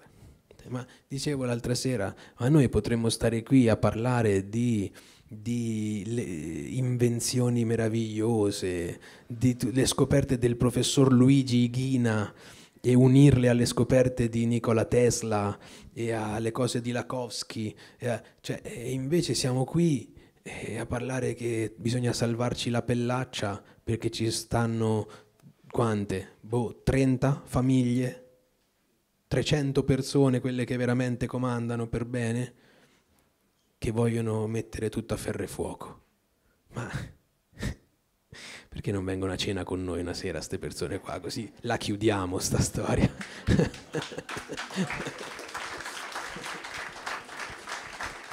Eh, siete facinorosi anche voi allora. No, perché ci è stato insegnato ad agire col, con la pace, quindi bisogna usare le armi no, della cultura, eh, dell'arte, dell'arte, eh, quindi la conoscenza e tutto, ma altrimenti qui era da imbracciare il fucile, cioè se io, io ringrazio Dio Onnipotente che mi ha fatto conoscere questa via di conoscenza, appunto di, e che mi porta ad un altro tipo di atteggiamento, ma io da eh, umbro montanaro che sono cresciuto con i fucili in fila dentro casa, ma ci metto zero a imbracciare e sparare, zero. Quindi grazie a Dio ho un'altra via, ma se no organizzavamo qua qualcosa, perché come fai? Ma io mi domando, ma sti famosi anarco-insurrezionalisti, ma dove siete? Oh, ma c'è, tutte, c'è le, le, nuove brigate, tutte, ma dove state? C'è nessuno. Due anni di follie qui, ping pass, cioè, ma eh, nessuno ha detto niente mai. Qualcuno, qualche un po' nella, nella controinformazione, ha combattuto la disinformazione. Però ragazzi, cioè io non ho visto gente che dici, oh, facciamo qualcosa hanno fatto qualcosa i portuali di, di Trieste. Nel momento però in cui si sono allontanati dai porti, tanti saluti, arrivederci, bravi, continuate a fare le vostre manifestazioni nelle città, non rompete le scatole. A Coso, Poretto, gli hanno dato il daspo perché stava a Roma su una sedia stavo gli hanno dato il da, ma questa si chiama dittatura, cioè, ma peggio perché la dittatura è palese, questa non è neanche troppo palese, o sì, ma lo fa in modo mascherato, però ecco, ragazzi, non va bene. E chi l'ha difeso a quel povero Cristo? Nessuno. Poi lui avrà fatto i suoi errori, ma mica è nato Che Guevara, cioè, eh, voglio dire. Quindi, se si fanno degli atti rivoluzionari, devi colpire lì dove fa male. Tu devi restare nel porto sempre. Fine dei giochi, stai lì. Organizzate dei gruppi che vi sostituite a vicenda. Nel momento in cui venite eh, presi, menati e portati via, deve esserci un gruppo che sostituisce, così al, sempre. Cioè, alla fine, raga, mh, mm, guardate che il popolo non, non è del tutto scemo. Quindi se il popolo vede che c'è qualcuno che è più attivo, alla fine si uniscono anche quelli un po' meno, quelli un po' più paurosi, magari un po'. Eh, ma io non la vedo sta storia qua. Vedo paura, capito? Vedo sonno. Ma possibile che devono essere i matti degli UFO a fare questi discorsi? Ma vi rendete conto che siamo all'assurdo? Cioè in realtà è la logica, perché da un altro punto di vista è la cosa più logica, perché loro, gli extraterrestri, vengono proprio a fare questo. Però che nella società civile di gente, voglio dire, che ne so, gli artisti appunto, cioè, nessuno, nessuno. Nessuno. Cioè, se fanno le manifestazioni, fanno, facciamo la manifestazione in favore del popolo ucraino. Ma io faccio la manifestazione, sì, per carità, in favore di tutti i popoli di questo mondo, anche quelli dello Yemen, però, dove le nostre bombe ammazzano i bambini, nostre, italiane. Eh? Quindi facciamo la manifestazione per la pace, non in favore del popolo questo o quell'altro. Eh, tra l'altro, voglio dire, chi studia la scienza dello spirito in maniera approfondita, il, la messaggistica di questi esseri meravigliosi che si, è in profonda correlazione al profetismo degli ultimi due o tremila anni, lo sa che stiamo vivendo il tempo dell'Apocalisse, lo sa che Putin rappresenta un tipo di anticristo, ma di cui il Padre glorioso si serve per colpire l'anticristo occidentale. Questo è che sta succedendo. Non è che Putin è bravo, Putin è sempre un anticristo, ma molto probabilmente sarà la clava che Dio utilizzerà per scagliarla sulla testa dell'anticristo occidentale, del, del, del bafometto eh, inteso in senso negativo, l'anticristo occidentale eh, de, fluido, l'anticristo occidentale del delirio, della perdita di identità, della perdita della cultura, l'anticristo occidentale che vediamo ogni giorno, l'anticristo occidentale che tramite l'alta finanza e tramite una, una costante opera di dissociazione mentale e psicologica dei popoli ha fatto impazzire tutti, con una erotizzazione della società ha fatto impazzire tutti. E sta cercando di dare dei colpi di coda perché è alla fine, dei colpi di coda che fanno male. Avete visto quello, quel, quell'evento che fecero per l'inaugurazione del Gottardo? Quelli sono loro. Quello è il teatrino dell'anticristo che il padre attraverso l'altro anticristo Putin colpirà terribilmente terribilmente, sarà dura per l'Occidente di cui anche noi facciamo parte, perché abbiamo accumulato un karma stratosferico in questo tempo, un karma gigantesco, perché in duemila anni non siamo riusciti a mettere in pratica ama il prossimo tuo come te stesso. Quindi già questo, no? Perché è nell'Occidente che il messaggio di Cristo è stato soprattutto divulgato. Quindi è a casa nostra e non l'abbiamo messo in pratica. Anzi, sul corpo di quel ragazzo, dopo che dopo che l'hanno ucciso, ci hanno aperto bottega. E in più abbiamo schiavizzato tutti i popoli possibili e immaginabili che abbiamo incontrato nel nostro percorso, tutti. La Francia ancora prende i soldi da, da, da, dagli africani, ma come, cioè, ma ragazzi, come si fa? La, vabbè, la Gran Bretagna ha colonizzato tutto, il, oggi gli Stati Uniti d'America, ma di queste cose se ne parla nella Bibbia, se ne parla perché la bestia che viene dal mare, la bestia che viene dalla terra, sono le potenze, eh, le potenze che governano il mondo, sono questi. Quindi, quindi le basi. Le basi ci sono, basi, ma ci sono anche basi extraterrestri sulla Terra. Quelle, ci sono basi extraterrestri sulla Terra, sì sì, come no. polo nord e polo sud, come? Una è qua vicino, dove? Andiamo. Eh, eh, polo nord e polo sud sono delle eh, vere e proprie entrate, degli ingressi verso l'interno del pianeta. E qui si apre un altro capitolone, perché il pianeta Terra, come la stragrande maggioranza dei corpi celesti, tutti, la stragrande maggioranza di, tra tutti i corpi celesti è cavo all'interno, ha un sole centrale sospeso e ha dei continenti fuori, la crosta terrestre, e poi c'è lo strato di crosta, poi c'è il magma dei vulcani, poi inizia un altro strato di crosta e poi c'è un'altra eh, crosta esterna ma sta dentro. Quindi diciamo che i nostri piedi idealmente toccano i piedi di quelli che stanno dentro, perché il centro di gravità non è quello che cercava Battiato, permanente, non è il centro di gravità al centro del pianeta, il, la, il centro di gravità è al centro della crosta terrestre. Capito come? Questo è... Eh, come lo faccio? Questa è la, la Terra. Ah, ah. Quella è la terra, quel salvagente lì. Welcome, infatti. Benvenuti a bordo. Eh, la parte esterna siamo noi, sulla crosta terrestre. Dentro è così, è vuota. Quella parte del salvagente bianco-rossa è la crosta esterna e interna. Dalla parte interna, quindi forza centrifuga e centripeta, diciamo.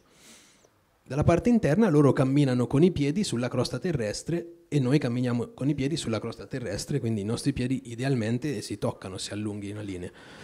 E al centro, leggermente decentrato, c'è un sole, una, un astro che è artificiale, considerato artificiale, ma dire artificiale è un, una parola un pochino forzata, anche se loro la dicono, eh? un sole artificiale, ma artificiale fatto da chi? Dagli esseri di luce, quindi comunque dagli, dagli, esseri divini, quindi comunque è un sole vero e proprio. E è più lattiginoso, non è un sole fulgido come il, quello che vediamo noi, come lo vediamo noi ma è un sole adatto ad illuminare i continenti interni, a dare la vita lì. E ci sono questi popoli, l'Eldorado, Shambhala, Agartha, questo. Però è un discorso lungo. E quelli sono ingressi polo nord e polo sud che si aprono all'incirca ogni 12 o 24 ore, si schiudono e lasciano per far respirare la Terra, perché la Terra è una cellula, il pianeta Terra è una cellula e quindi quando si aprono polo nord e polo sud in maniera regolare, a, con tempistiche abbastanza regolari, permettono l'ingresso di energie, anche raggi cosmici e così via, che quelli passano anche la, la crosta terrestre, ma c'è bisogno anche di questa respirazione che mette in comunicazione l'esterno con l'interno. I famosi mammut che trovano e tuttora continuano a trovare, non finiscono mai sti mammut. E quanti erano nella preistoria sti mammut? Non finiscono mai perché in realtà vengono dalla terra interna, quelli che a volte capita che eh, in ac- cadono in acqua durante le aperture regolari e chiusure di questi poli, vengono poi trasportati dalle correnti fin- fino a fuori. E quindi ci sono un, una marea di questi mammut, ma ci hanno fatto fortuna con le zanne di mammut nel, eh, nel primi del Novecento, fine Ottocento, primi del Novecento, hanno fatto fortune. Eh, che erano tutti nel ghiaccio, noi ci fanno vedere quelli sepolto nel ghiaccio, ma in realtà a volte con una pala lo trovi il mammut. Perché sono ancora viventi i mammut dentro la terra.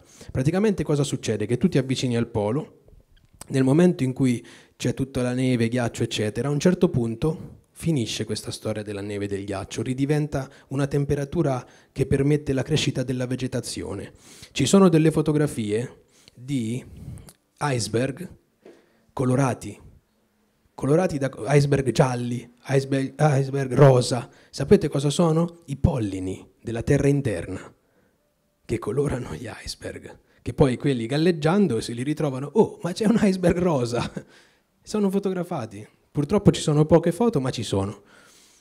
E, e quindi questa apertura permette la comunicazione tra l'esterno e l'interno e la vita della cellula. E dentro i popoli che vivono dentro sono quelli che hanno incontrato l'ammiraglio Beard, Evelyn Beard, eh, Richard, mi sembra si chiamasse, eh? Richard Evelyn Beard. E lui ha incontrato questi esseri e ha detto che avevano le astronavi 10 minuti. Devo cambiare persona.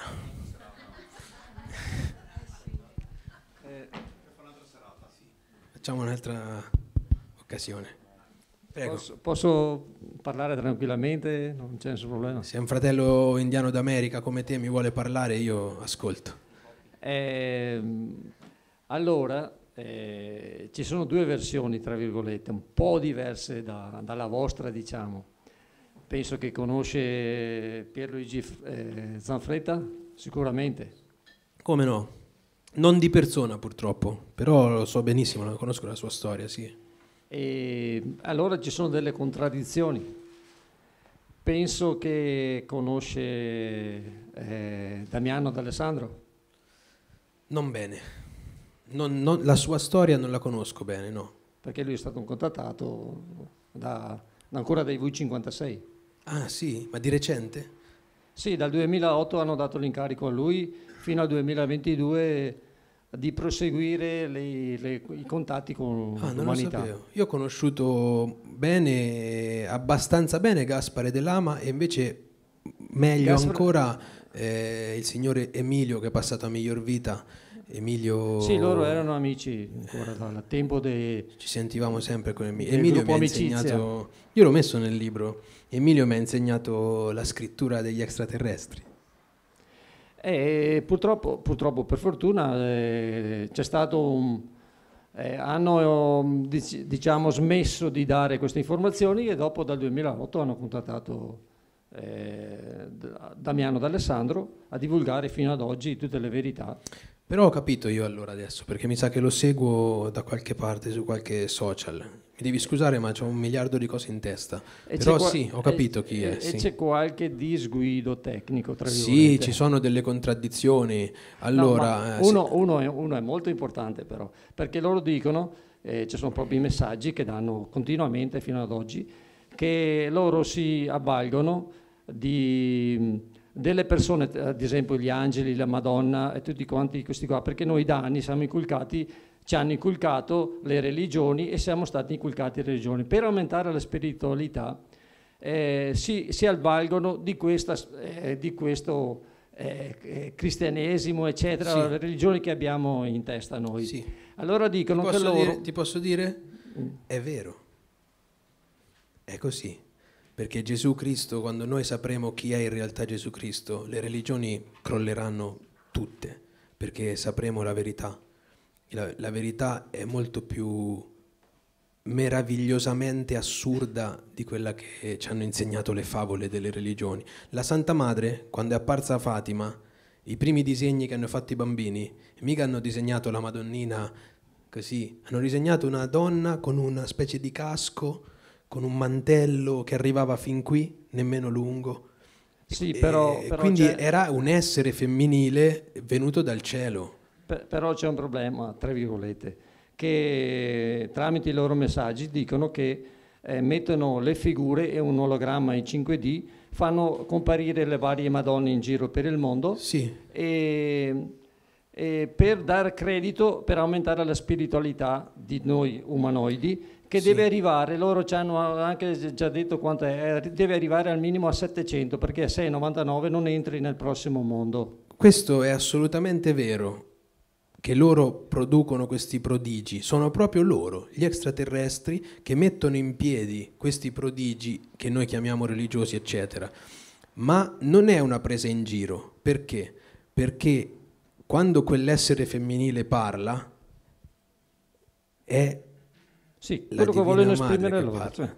Ed è il loro pensiero è in sintonia con quello della Divina Madre. Loro conoscono qual è il pensiero della Divina. La chiamiamo Divina Madre, possiamo chiamarla l'intelligenza che dimora nel pianeta Terra, l'intelligenza che è la vita del pianeta stesso, perché i pianeti sono viventi sì. e, que- e hanno uno spirito cosmico è una creatura cosmica il pianeta e questo pianeta ha un'intelligenza che noi identifichiamo in quell'essere femminile. Perché? Ma dai tempi di già Iside eh, ancora prima la dea madre è sempre lei. E poi ha preso le sembianze di quella ragazzina Miriam quella ragazzina armena che ha avuto il compito di portare in grembo quel, quell'essere sublime che chiamiamo Gesù Yoshua perché loro dicono che tutto parte dall'energia madre, perché noi siamo fatti di 94 dimensioni e noi siamo appena al terza dimensione, quindi ne avremo di strada da fare. Siamo stati lanciati per adesso per ritornare, per aumentare, evolverci e di ritornare indietro. Questo poi andando nello specifico, sì, potremmo dire tante cose, però come in linea generale io sono... Eh, pienamente d'accordo con questo discorso, cioè sono loro che mettono in piedi questi prodigi, ma li mettono in piedi perché hanno loro stessi degli ordini superiori. Cioè non è sì. che l'essere femminile che è apparso ai ragazzini di Fatima era un extraterrestre, era un essere femminile, magari anche extraterrestre, ma portava la parola della Divina Madre.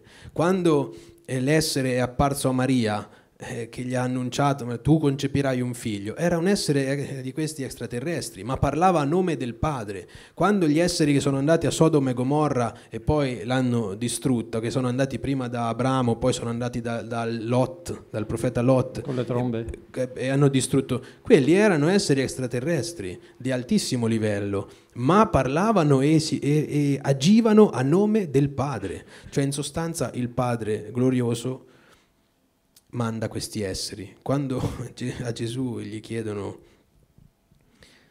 mostraci il Padre e ci basta. E Gesù gli dice è da tanto tempo che sono con voi e ancora non mi hai visto, non mi hai riconosciuto. Quindi il Padre nessuno l'ha visto, parla per interposta persona o attraverso delle sue dirette emanazioni come quella suprema che è il Cristo, ma anche altre, altissimo livello, abbiamo nominato prima Krishna, altri esseri meravigliosi e, e potentissimi. Oppure usa, usa eh, diciamo, eh, si serve degli extraterrestri, questi extraterrestri perché hanno, sono civiltà con una consapevolezza immensa, che hanno capito chi è Dio e ci parlano. E quindi lui si serve di questi esseri. Loro, diceva Eugenio Siragusa, sono i giardinieri del cosmo.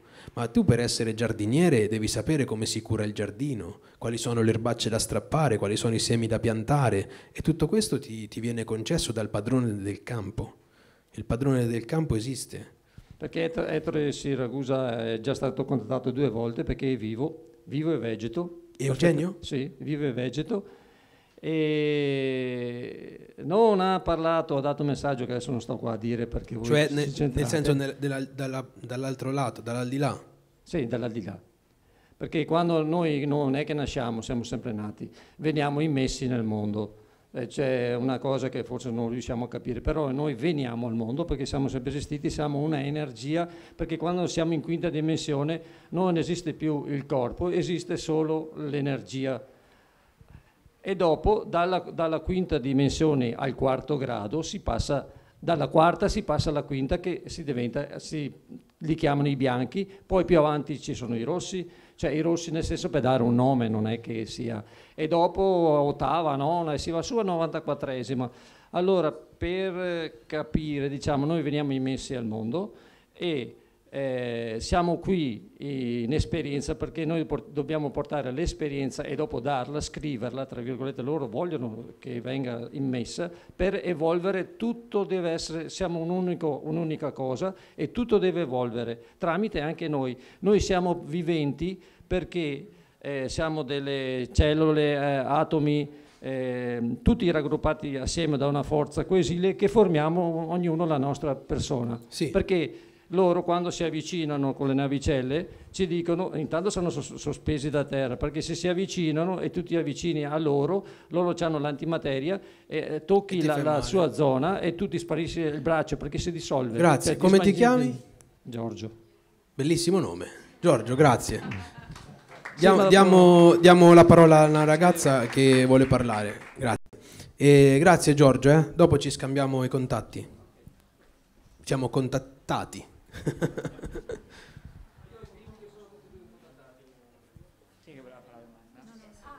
Ah, siamo fuori. Con l'accuso si dice, siamo fuori con l'accuso. Guarda, io sarò veloce e breve nella mia piccola esperienza di vita. Tu prima hai detto una parola che per me è fondamentale, discernimento. E il discernimento ho imparato che um, non è bramosia, non è bramosia di conoscenza, e hai detto un'altra parola che è l'umiltà. Eh, ognuno comprende i messaggi che probabilmente gli vengono dati sotto varie forme, anche sulla base di quello che la persona stessa è disponibile a conoscere e a cogliere, in una zona prossimale di sviluppo. E mi permetto di dire che le cose che ha detto il, il, Signore di prima, in parte lo capite, in parte no. Quello che secondo me però è fondamentale è un atteggiamento di confronto, di crescita e di um, evitare la bramosia nella conoscenza. E questo lo si sente attraverso il discernimento del cuore. E, punto. Grazie mille. E noi purtroppo dobbiamo... 56 vuol dire vittoria sulla conoscenza e vittoria sull'ego, quindi non dobbiamo... Non dobbiamo eh, a maggior ragione. Egoici, ok. E a maggior ragione.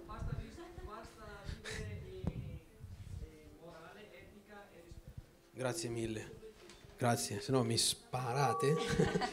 Attenta che te... vieni più qua. Scusa, abbiamo no. fatto tardi, ma no. loro, loro, non è colpa loro, perché loro no. me lo scrivevano sì. con cose lampeggianti. Eh, sì, e che tu non riuscivi a... Non riuscivo a staccare va qua. benissimo, va benissimo. Facevo channeling. Niente, allora un grosso applauso. Ringraziamo a tutti voi per la presenza, a Marco, al suo team, al proprietario del locale Agostino e Veronica. E invito a tutti voi, con molta delicatezza, a eh, uscire fuori che Marco firmerà, farà le dediche per chi ha comprato il libro e potete vedere anche i gadget che ci sono che aiuterebbe tantissimo sì, alla loro associazione. Ragazzi, dovete per forza, per forza comprare questo. Per, ma per forza, cioè non è per forza. Cos'è perché, questo? Ah, perché che cos'è questo? perché questo l'ho fatto fare io. Perché è, è, è il nome Yoshua quindi Gesù, in lingua però originale aramaica, si legge da, da, da sinistra, sinistra, a destra, destra, nel pesce che era il simbolo che Gesù disegnava per terra quando c'è scritto nel Vangelo e lui tracciava dei segni a terra. Era il pesce che indica l'era dei pesci, che grazie alla sua al suo intervento nella storia umana diventa era dell'acquario, ci trasporta nell'era dell'acquario che sta iniziando. Quindi questi sono adesivi, sono adesivi, aspetta Giorgio, sono adesivi eh, bellissimi, potete metterli ovunque, sono studiati anche per l'esterno, per resistere ad agenti atmosferici apocalittici, quindi sono per i nostri tempi, vai.